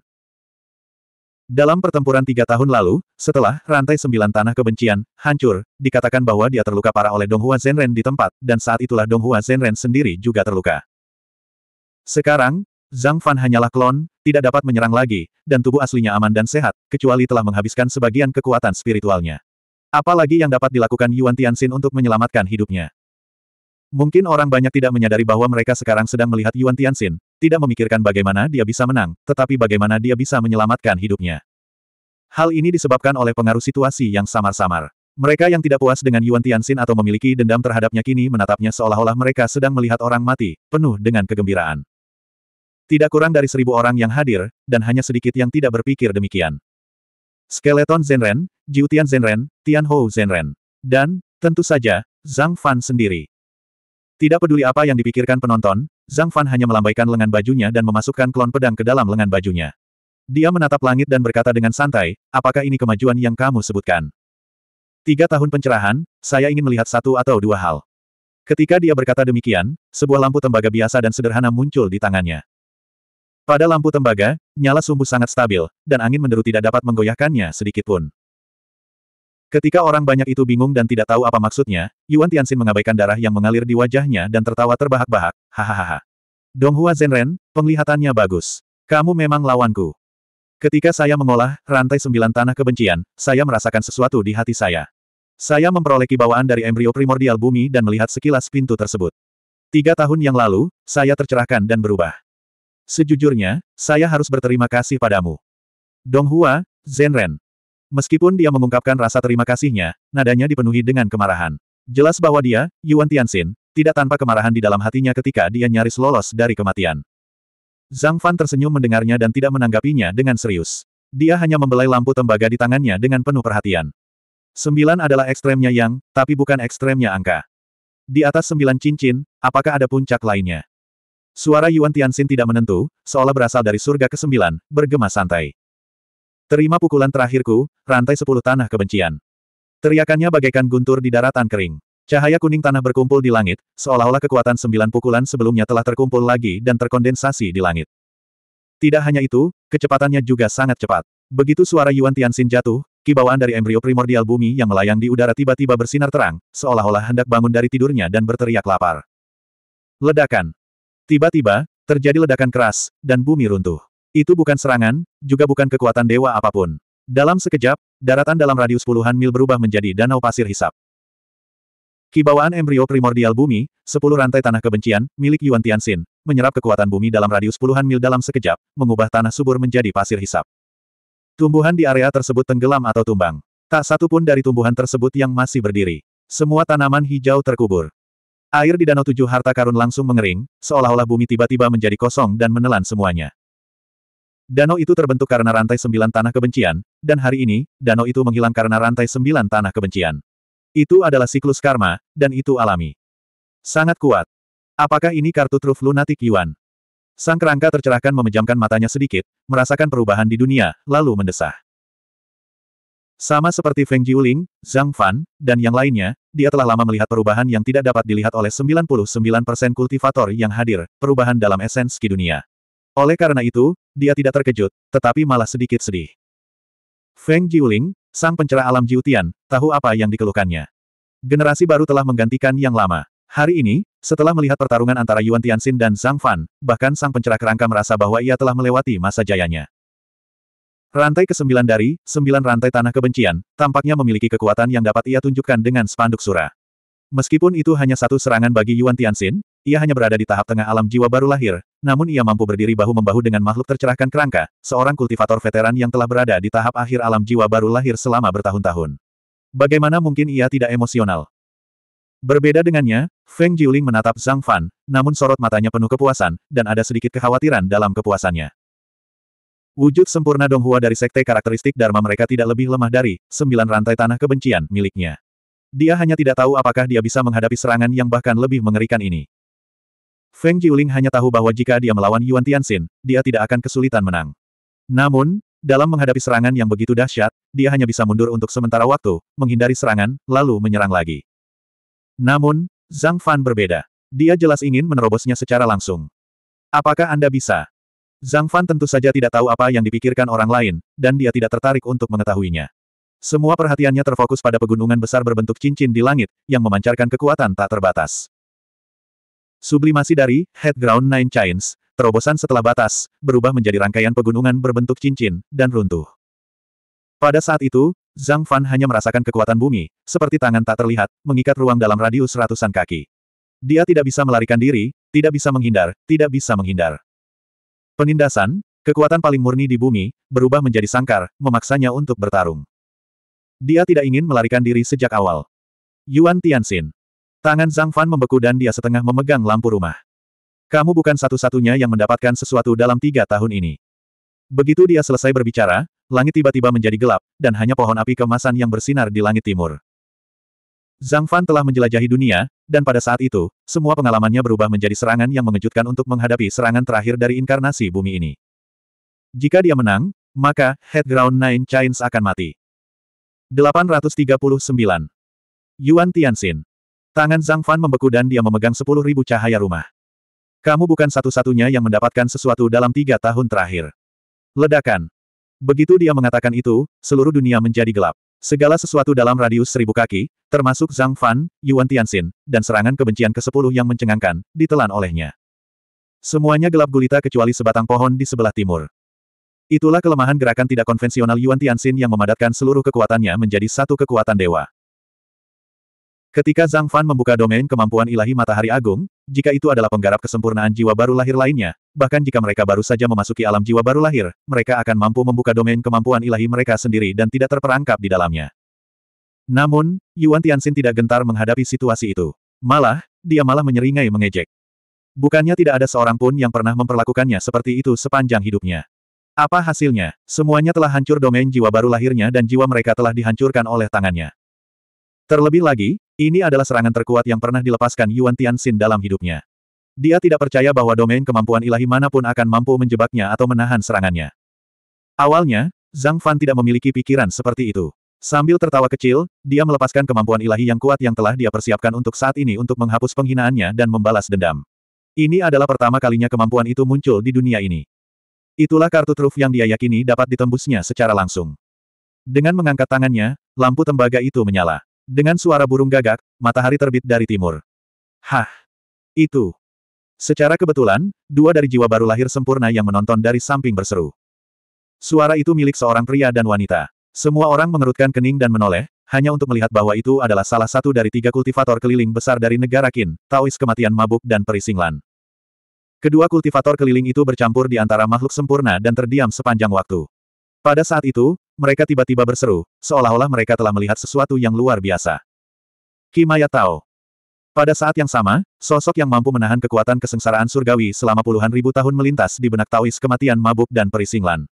Mereka tenggelam dalam pikiran dan menyadari sesuatu. Pada saat ini, semua yang ada di sekitar Zhang Fan telah menghilang dari pikirannya. Bahkan serangan terkuat yang akan menghancurkannya berkeping-keping tidak mengalihkan perhatiannya sama sekali. Di matanya, yang ada hanyalah cahaya ribuan cahaya. Saat ia mengusap lampu tembaga itu, nyala api sebesar kacang tiba-tiba menyala terang, menyebarkan kehangatan. Itu adalah pertemuan keinginan rakyat, dukungan harapan semua makhluk hidup, lampu bagi puluhan ribu rumah. Pada saat yang sama, di mahkota Kaisar Timur, kelima warna itu pekat dan kabur. Awan asap dan kabut yang tak berujung, seolah-olah dupa telah berkumpul di sini, menyelimuti bagian dunia ini. Cahaya mahkota Kaisar Timur menyelimutinya. Sepuluh ribu pedang menerangi lentera. Keduanya menyatu menjadi satu. Seolah-olah ada sesuatu yang tak terlihat yang terus-menerus ditarik keluar dari lentera, dari mahkota Kaisar Timur. Di atas lampu tembaga, benda itu mengembun menjadi sosok besar yang kabur. Siluet itu sangat kabur, seolah-olah ada sesuatu yang hilang dan dapat berhamburan tertiup angin kapan saja. Namun, aura yang sangat kuat menyebar, dan bahkan Grid Sun Domain tidak dapat menghalanginya. Meskipun jaraknya ribuan kaki, itu tetap menakutkan. Pada saat ini, semua orang tahu bahwa sudah waktunya untuk menentukan hasil pertempuran. Zhang Fan melepaskan serangan terkuatnya. Adegan ini juga menjadi alasan mengapa Daois Drunken Deat dan Singlan Fairy terkejut.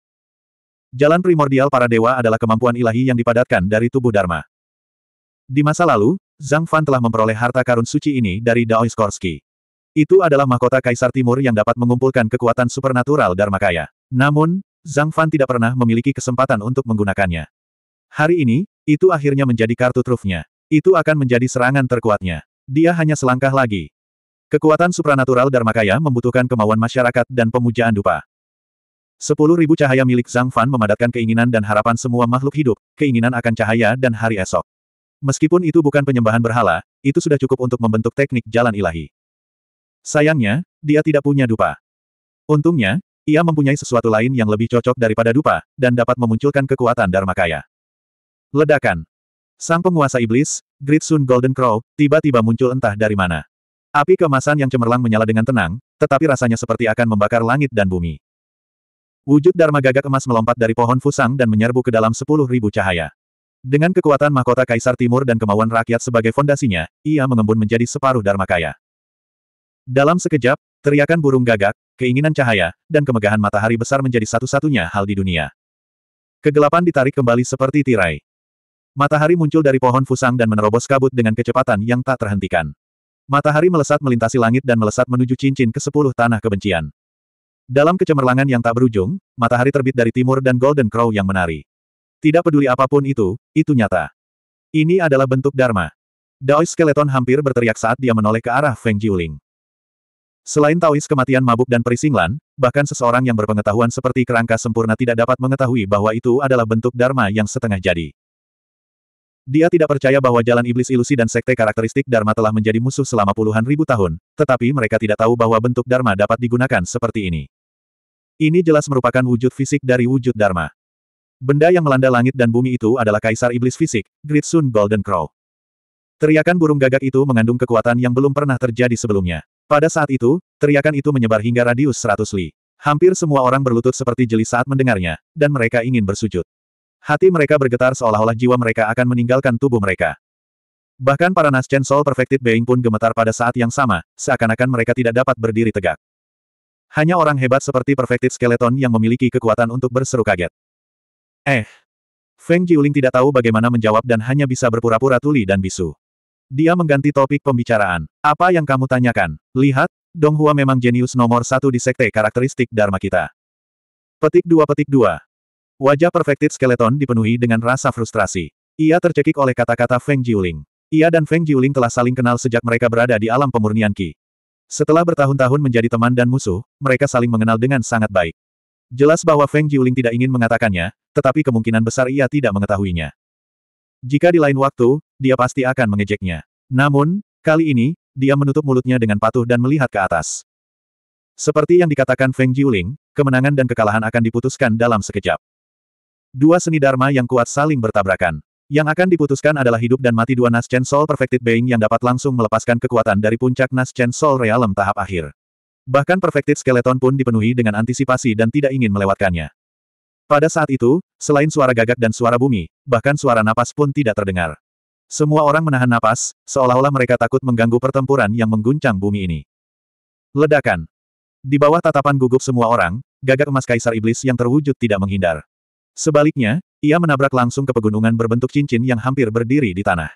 Ia membuat suara keras yang menembus langit. Langit bergetar dan bumi berguncang. Seolah-olah sebuah kapal berlayar di ombak besar dan bisa terbalik kapan saja. Dengan menerobos titik terkuat lawan secara langsung, Yuan Tianxin telah menghancurkan semua harga dirinya dan semua yang diandalkannya.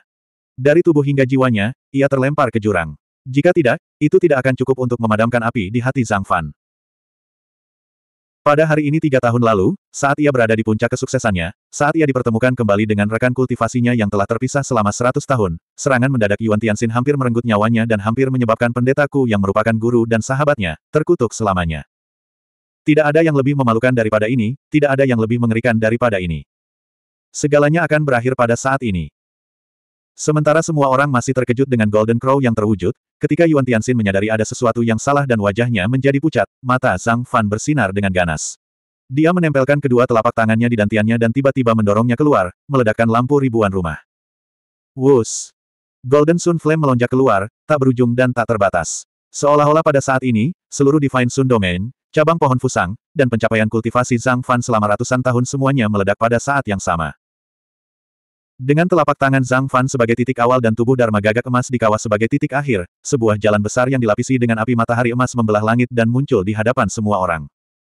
Serangan habis-habisan.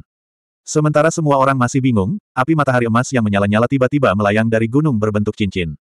Tekanan kuat yang tampaknya akan menghancurkan seluruh bumi tiba-tiba membeku. Pada saat itu, suara burung gagak terdengar dari angkasa. Ledakan. Di bawah serangan Golden Sun Flame, yang memiliki spiritualitas dan kehidupannya sendiri, di bawah serangan Golden Crow, yang tampaknya memiliki tubuh fisik dan telah mendapatkan kembali kekuatannya yang tak terbatas, terjadi ledakan keras. Seolah-olah seluruh gunung berbentuk cincin itu telah runtuh. Dalam sekejap, langit dipenuhi dengan api matahari emas, sedikit demi sedikit, seperti sungai cahaya di langit malam. Di bawah setiap Golden Sun Flame, ada sedikit Earth Yuan Qi, dan bahkan sedikit debu. Api tidak akan padam sampai benar-benar padam. Hujan meteor yang tampak indah ini hanyalah catatan kaki dari momen yang gemilang ini. Tokoh utama sebenarnya adalah Great Sun Golden Crow, yang telah menembus pegunungan berbentuk cincin dan melesat ke langit, menari dengan api yang tak terbatas. Sasarannya, sembilan rantai tanah kebencian, Yuan Tianxin. Engah. Wajah pucat Yuan Tianxin tiba-tiba berubah menjadi merah padam. Kemudian, dia memuntahkan seteguk darah, yang berubah menjadi hujan darah. Kekuatan sihir terkuat dalam hidupnya berhadapan langsung, berhadapan langsung, dengan metode yang paling ia kuasai, hancur total. Seteguk darah ini bukan hanya kekuatan-kekuatan sihir, tetapi juga bencana hati yang hancur. Harga dirinya diinjak-injak ke tanah, dan hatinya seperti abu mati. Tiba-tiba, seluruh kekuatannya, seluruh perjuangannya, lenyap bersama angin. Sama sekali tidak mampu melawan, Yuan Tianxin yang bermartabat dari sembilan rantai cincin tanah kebencian, seorang ahli yang namanya mengguncang sembilan prefektur pada usia kurang dari 300 tahun, hanya bisa menyaksikan dengan tak berdaya saat gagak emas, yang dikenal sebagai Kaisar Iblis, menembus tubuhnya. Ia tidak merasakan sakit, tidak merasakan panas. Yang ia rasakan hanyalah tubuhnya menjadi ringan, diikuti oleh rasa dingin yang tak terkira, dan akhirnya, rasa sakit yang tak terkira, rasa takut yang hampir mencekik. Ah! Seolah-olah rohnya tiba-tiba ditarik keluar dari alam baka. Ia membuka matanya, hanya untuk melihat pemandangan yang membuatnya menjerit putus asa. 840. Golden Crow terbang menjauh dari pohon fusang dan berubah menjadi matahari besar yang menyapu seluruh dunia, memusnahkan pegunungan berbentuk cincin dan menghancurkan tubuh musuh. Akhirnya, dengan suara gagak yang merdu, ia menghilang bersama dengan domain matahari besar milik Zhang Fan. Dari depan Zhang Fan hingga tempat Yuan Tianxin berdiri, jalan setapak yang dilapisi api matahari emas berangsur-angsur padam, memperlihatkan wujud sebenarnya tempat di bawahnya. Sepanjang jalan, pasir kuning yang tak terhitung jumlahnya mencair dan mengembun. Di bawah kekuatan alam, pasir itu berubah menjadi jalan setapak yang dilapisi kaca dengan panjang ratusan kaki dan lebar beberapa kaki. Jalan setapak yang dilapisi kaca tujuh warna itu sungguh luar biasa megahnya, seolah-olah permata yang tak terhitung jumlahnya berkumpul membentuk jalan setapak yang begitu megah. Seperti halnya Danau Tujuh Harta Karun, mungkin dalam waktu dekat, jalan berlapis kaca ini akan diberi nama Jalan Berlapis Kaca Gagak Emas, disertai legenda pertempuran hari ini. Di atas Golden Crow Glaze Path, dunia yang luas dipenuhi dengan api kemasan yang jatuh seperti hujan meteor. Di tengah keindahan yang tak terbatas, mata semua orang berkumpul di satu tempat. Setelah itu, berbagai ekspresi muncul di wajah para penonton, seperti keheranan, keheranan menyenangkan, kekecewaan, kesenangan, dan lain sebagainya. Tetapi sebagian besar mereka tidak percaya. Mematahkan sembilan rantai, tanah kebencian, secara langsung, menghancurkan tubuh Yuan Tianxin, dan akhirnya menggenggam jiwa baru lahirnya di tangannya adalah pemandangan yang membuat semua orang tercengang. Sambil menggenggam Nas Chen Sol di tangannya, senyum akhirnya muncul di wajah Zhang Fan. Ini adalah kesenangan balas dendam, sekaligus penjelasan kepada orang lain. Pada saat ini, jiwa baru lahir Yuan Tianxin di tangan Zhang Fan tampak tak bernyawa, seolah-olah semua harapan dan cahayanya telah dihancurkan oleh tangan tak terlihat. Bahkan teriakannya yang menyadari situasinya telah lenyap tertiup angin. Sekarang, Yuan Tianxin hanya bisa digambarkan sebagai orang yang pasrah pada nasibnya. Selain itu, apa lagi yang dapat dilakukannya? Sekarang jiwa barunya ada di tangan orang lain, apa yang menantinya mungkin bukan hanya kematian. Bahkan orang yang memiliki tekad sekuat batu pun tidak akan memiliki pandangan berbeda jika harga dirinya dihancurkan terlebih dahulu, lalu dihadapkan pada situasi yang tidak ada harapan. Melihat ini, Zhang Fan tersenyum senang, tetapi tidak segera menghadapinya. Sebaliknya, dia tiba-tiba mengangkat kepalanya dan menatap kekosongan di depannya. Ledakan. Hamparan tanah kuning yang luas meledak, dan seberkas cahaya hijau berkabut mengembun menjadi bentuk janin. Ia berputar dengan lincah, dan seluruh sosoknya menjadi kabur. Kibawaan dari embrio asal bumi agung. Ah! Beberapa seruan terdengar dari segala arah. Sebuah harta karun kuno, kibawaan dari embrio asal mula bumi agung, siapa yang tidak menginginkan harta karun seperti itu? Setidaknya setengah dari kekuatan yang ditunjukkan Yuan Tianxin hari ini adalah karena harta karun ini. Belum lagi yang lainnya, bahkan para ahli seperti Skeleton Enlightened Being dan mata Feng Jiuling pun berbinar. Cepat, terlalu cepat. Hampir pada saat semua orang berteriak kaget, dan sebelum mereka bisa berpikir atau berbuat apa pun, embrio asal bumi bawaan telah melintasi jarak yang sangat jauh, dan hendak tenggelam ke dalam tanah. Begitu masuk ke dalam tanah, ia bagaikan seekor naga banjir yang memasuki lautan. Ia tidak dapat ditahan lagi. Sekalipun semua jiwa baru lahir yang hadir menyerang bersama-sama, mereka tidak akan mampu menemukan jejak keajaiban bumi ini di dalam tanah. Betapa cerdasnya! Zhang Fan tidak dapat menahan diri untuk memuji dalam hatinya. Sebelum dia menghancurkan Naschen Soul milik Yuan Tianxin dan memusnahkan Divine Soul miliknya, harta karun itu tahu bahwa mantan pemiliknya telah dikutuk dan ingin melarikan diri. Harta karun kuno bagaikan legenda di dunia fana. Semua harta karun di dunia diperoleh oleh mereka yang ditakdirkan. Kalau saja kibawaan embrio asal mula bumi agung dibiarkan lepas, ia mungkin akan muncul kembali di dunia fana setelah entah berapa tahun kemudian ketika ia menarik perhatian seseorang. Orang itu mungkin seorang ahli yang tak tertandingi, atau seorang anak gembala sapi. Sulit untuk mengatakannya. Jika Zhang Fan tidak hadir hari ini, hasilnya hampir pasti sudah ditentukan. Demi mencegah gerbang kota terbakar, semua prajurit yang kuat menjaga jarak lebih dari 10.000 kaki dari tempat pertempuran berlangsung. Belum lagi jaraknya, bahkan jika mereka berdiri berdampingan, mereka mungkin tidak dapat mengendalikan embrio bumi besar kibawaan dengan kecepatan luar biasa seperti itu. Sayangnya, ia telah bertemu dengan Zhang Fan. Mencoba untuk pergi. Lebih baik kau tetap di sini. Begitu dia berkata demikian, Embusan angin bertiup kencang dan lengan bajunya menari-nari di udara, berubah menjadi bendera yang berkibar di angkasa. Huf, huf, huf. Di tengah angin yang menderu, kibauan embrio asal bumi agung tampak ditarik oleh tangan yang tak terhitung jumlahnya saat memasuki tanah dan membeku sesaat. Jeda itu hanya sesaat, tetapi sudah cukup. Suara mendesing. Cahaya ilahi lima warna itu indah tak terbatas dan bersifat ilusi. Seolah-olah semua warna di dunia telah berkumpul dan menyapu. Pada saat itu, semua orang merasakan penglihatan mereka kabur dan gelap, seolah-olah semuanya telah kehilangan warnanya. Ketika cahaya ilahi lima warna menyapu, tanah menjadi kosong dan tidak ada tanda-tanda kibawaan dari embrio asal bumi agung. Anda. Suara terkejut dan marah terdengar. Itu adalah tetua tertinggi Sekte Houtu, Tu Feng, yang begitu terkejut hingga ia membeku di tempat dan lupa menarik kembali serangannya. Teriakannya tenggelam oleh seruan yang tak terhitung banyaknya, bagaikan deburan ombak di lautan yang tak menimbulkan ombak apa pun.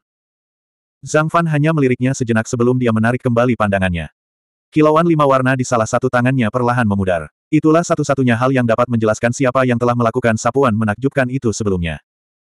Teknik macam apa itu? Tidak seperti yang lainnya, Dao Skeleton, Feng Jiuling, dan para ahli lainnya telah menyaksikan seluruh proses tersebut. Bagi mereka, embrio asal bumi kibawaan jelas penuh dengan kecerdasan dan menolak cahaya ilahi lima warna. Namun, saat cahaya ilahi lima warna menyelimutinya, embrio itu tiba-tiba menjadi tenang dan dibawa pergi dengan patuh.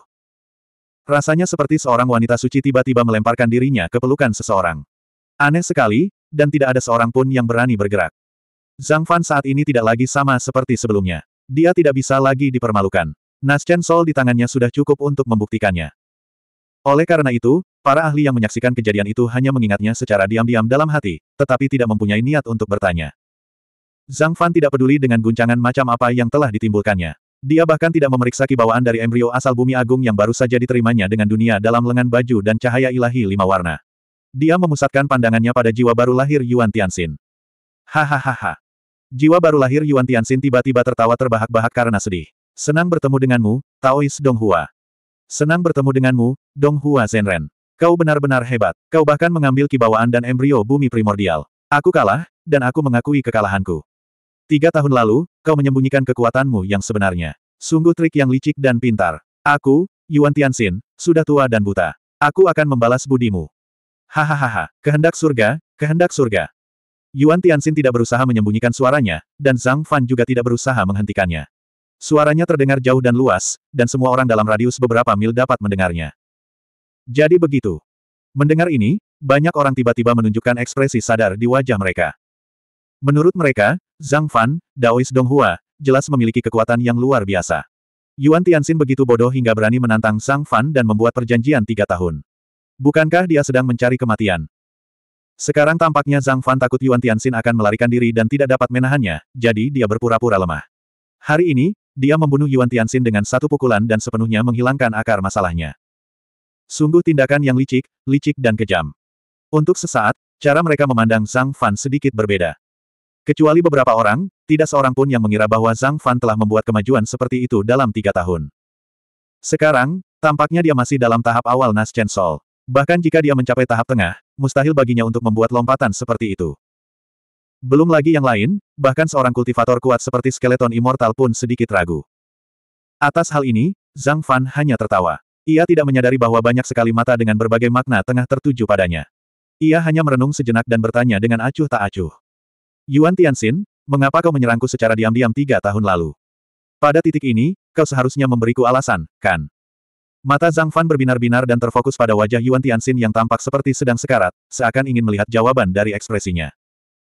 Dia ingin menanyakan pertanyaan ini tiga tahun lalu dan baru sekarang, tetapi baru saat ini dia benar-benar bertanya.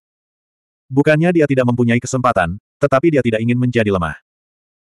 Jika dia tidak bertanya dalam keadaan seperti itu, itu seperti memohon penjelasan sebelum mati, dan Zhang Fan tidak akan repot-repot bertanya. Serangan diam-diam terhadapmu. Kau bertanya mengapa aku menyerangmu secara diam-diam. Hahaha. Yuan Tianxin tertawa terbahak-bahak untuk waktu yang lama sebelum dia berhenti dan berkata dengan suara yang tak bernyawa, Aku tidak sebaik dirimu, jadi aku tidak punya apa-apa untuk dikatakan. Kau boleh melakukan apa pun yang kau mau padaku. Selama kau membiarkan adikku pergi, aku akan menceritakan semuanya padamu. Bagaimana menurutmu? Baru saja ketika dia menatap Zhang Fan dengan penuh harap, dia mendengar suara yang kedengaran seperti gemuruh guntur. Tidak. Zhang Fan bahkan tidak memikirkannya dan dengan tegas menolaknya. Sudah kubilang aku akan membasmi seluruh klanmu. Di seluruh klanmu hanya ada saudara Ling. Aku akan melakukan apa yang kukatakan, dan aku tidak akan menipumu dengan kebohongan. Jujur saja, dia sudah meninggal. Anda. Yuan Tianxin awalnya terkejut dan marah, lalu wajahnya penuh keputusasaan. Ia berkata, Meski begitu, jangan kira kau bisa mendapatkan jawaban dariku. Sudah sama saja selama seribu tahun, sepuluh ribu tahun. Kalau kau punya trik, gunakan saja. Baiklah, jika kamu tidak ingin mengatakannya. Zhang Fan tidak banyak bicara. Dengan kultivasi Yuan Tianxin, menggunakan teknik penyerapan jiwa hanyalah hayalan belaka. Begitu dia selesai bicara, dia mengulurkan tangannya, dan sebuah sosok muncul dari pasir kuning tak jauh dari sana. Aku tidak perlu kau memberitahuku. Orang di belakangku tidak akan menyerah. Cepat atau lambat dia akan muncul di hadapanku, dan aku akan tahu kapan saatnya tiba. Sekarang saatnya bagiku untuk memenuhi janjiku. Suara Zhang Fan sangat tenang, tetapi wajah Yuan Tianxin dipenuhi dengan ketakutan dan keputusasaan. Ekspresinya begitu serius sehingga tampak seperti akan meneteskan air. Dia sudah tahu apa yang akan dia hadapi. Sosok yang muncul dari pasir kuning adalah dewa tingkat bumi yang telah disingkirkan Zhang Fan sebelum pertempuran. Baru pada saat itulah Yuan Tianxin menyadari bahwa ini bukanlah kekuatan dewa untuk menghadapinya, tetapi sangkar untuk memenjarakannya. Aku berjanji kepada seseorang bahwa aku akan memenjarakanmu selama sepuluh ribu tahun untuk membalas apa yang terjadi tiga tahun lalu. Tidak lebih dari sehari, tidak kurang dari sehari. Setelah sepuluh ribu tahun, jika aku tidak mati, aku akan membiarkan jiwa ilahimu bereinkarnasi. Zhang Fan tersenyum santai, tetapi di mata Yuan Tianxin, dia sama menakutkannya dengan iblis. Ah, Jeritan memilukan terdengar saat jiwa yang baru lahir dicengkeram oleh mayat bumi abadi dan kemudian ditelan ke dalam perutnya. Itulah nasib Yuan Tianxin, seorang pakar generasi dewa tingkat bumi sembilan rantai, selama sepuluh ribu tahun kesepian.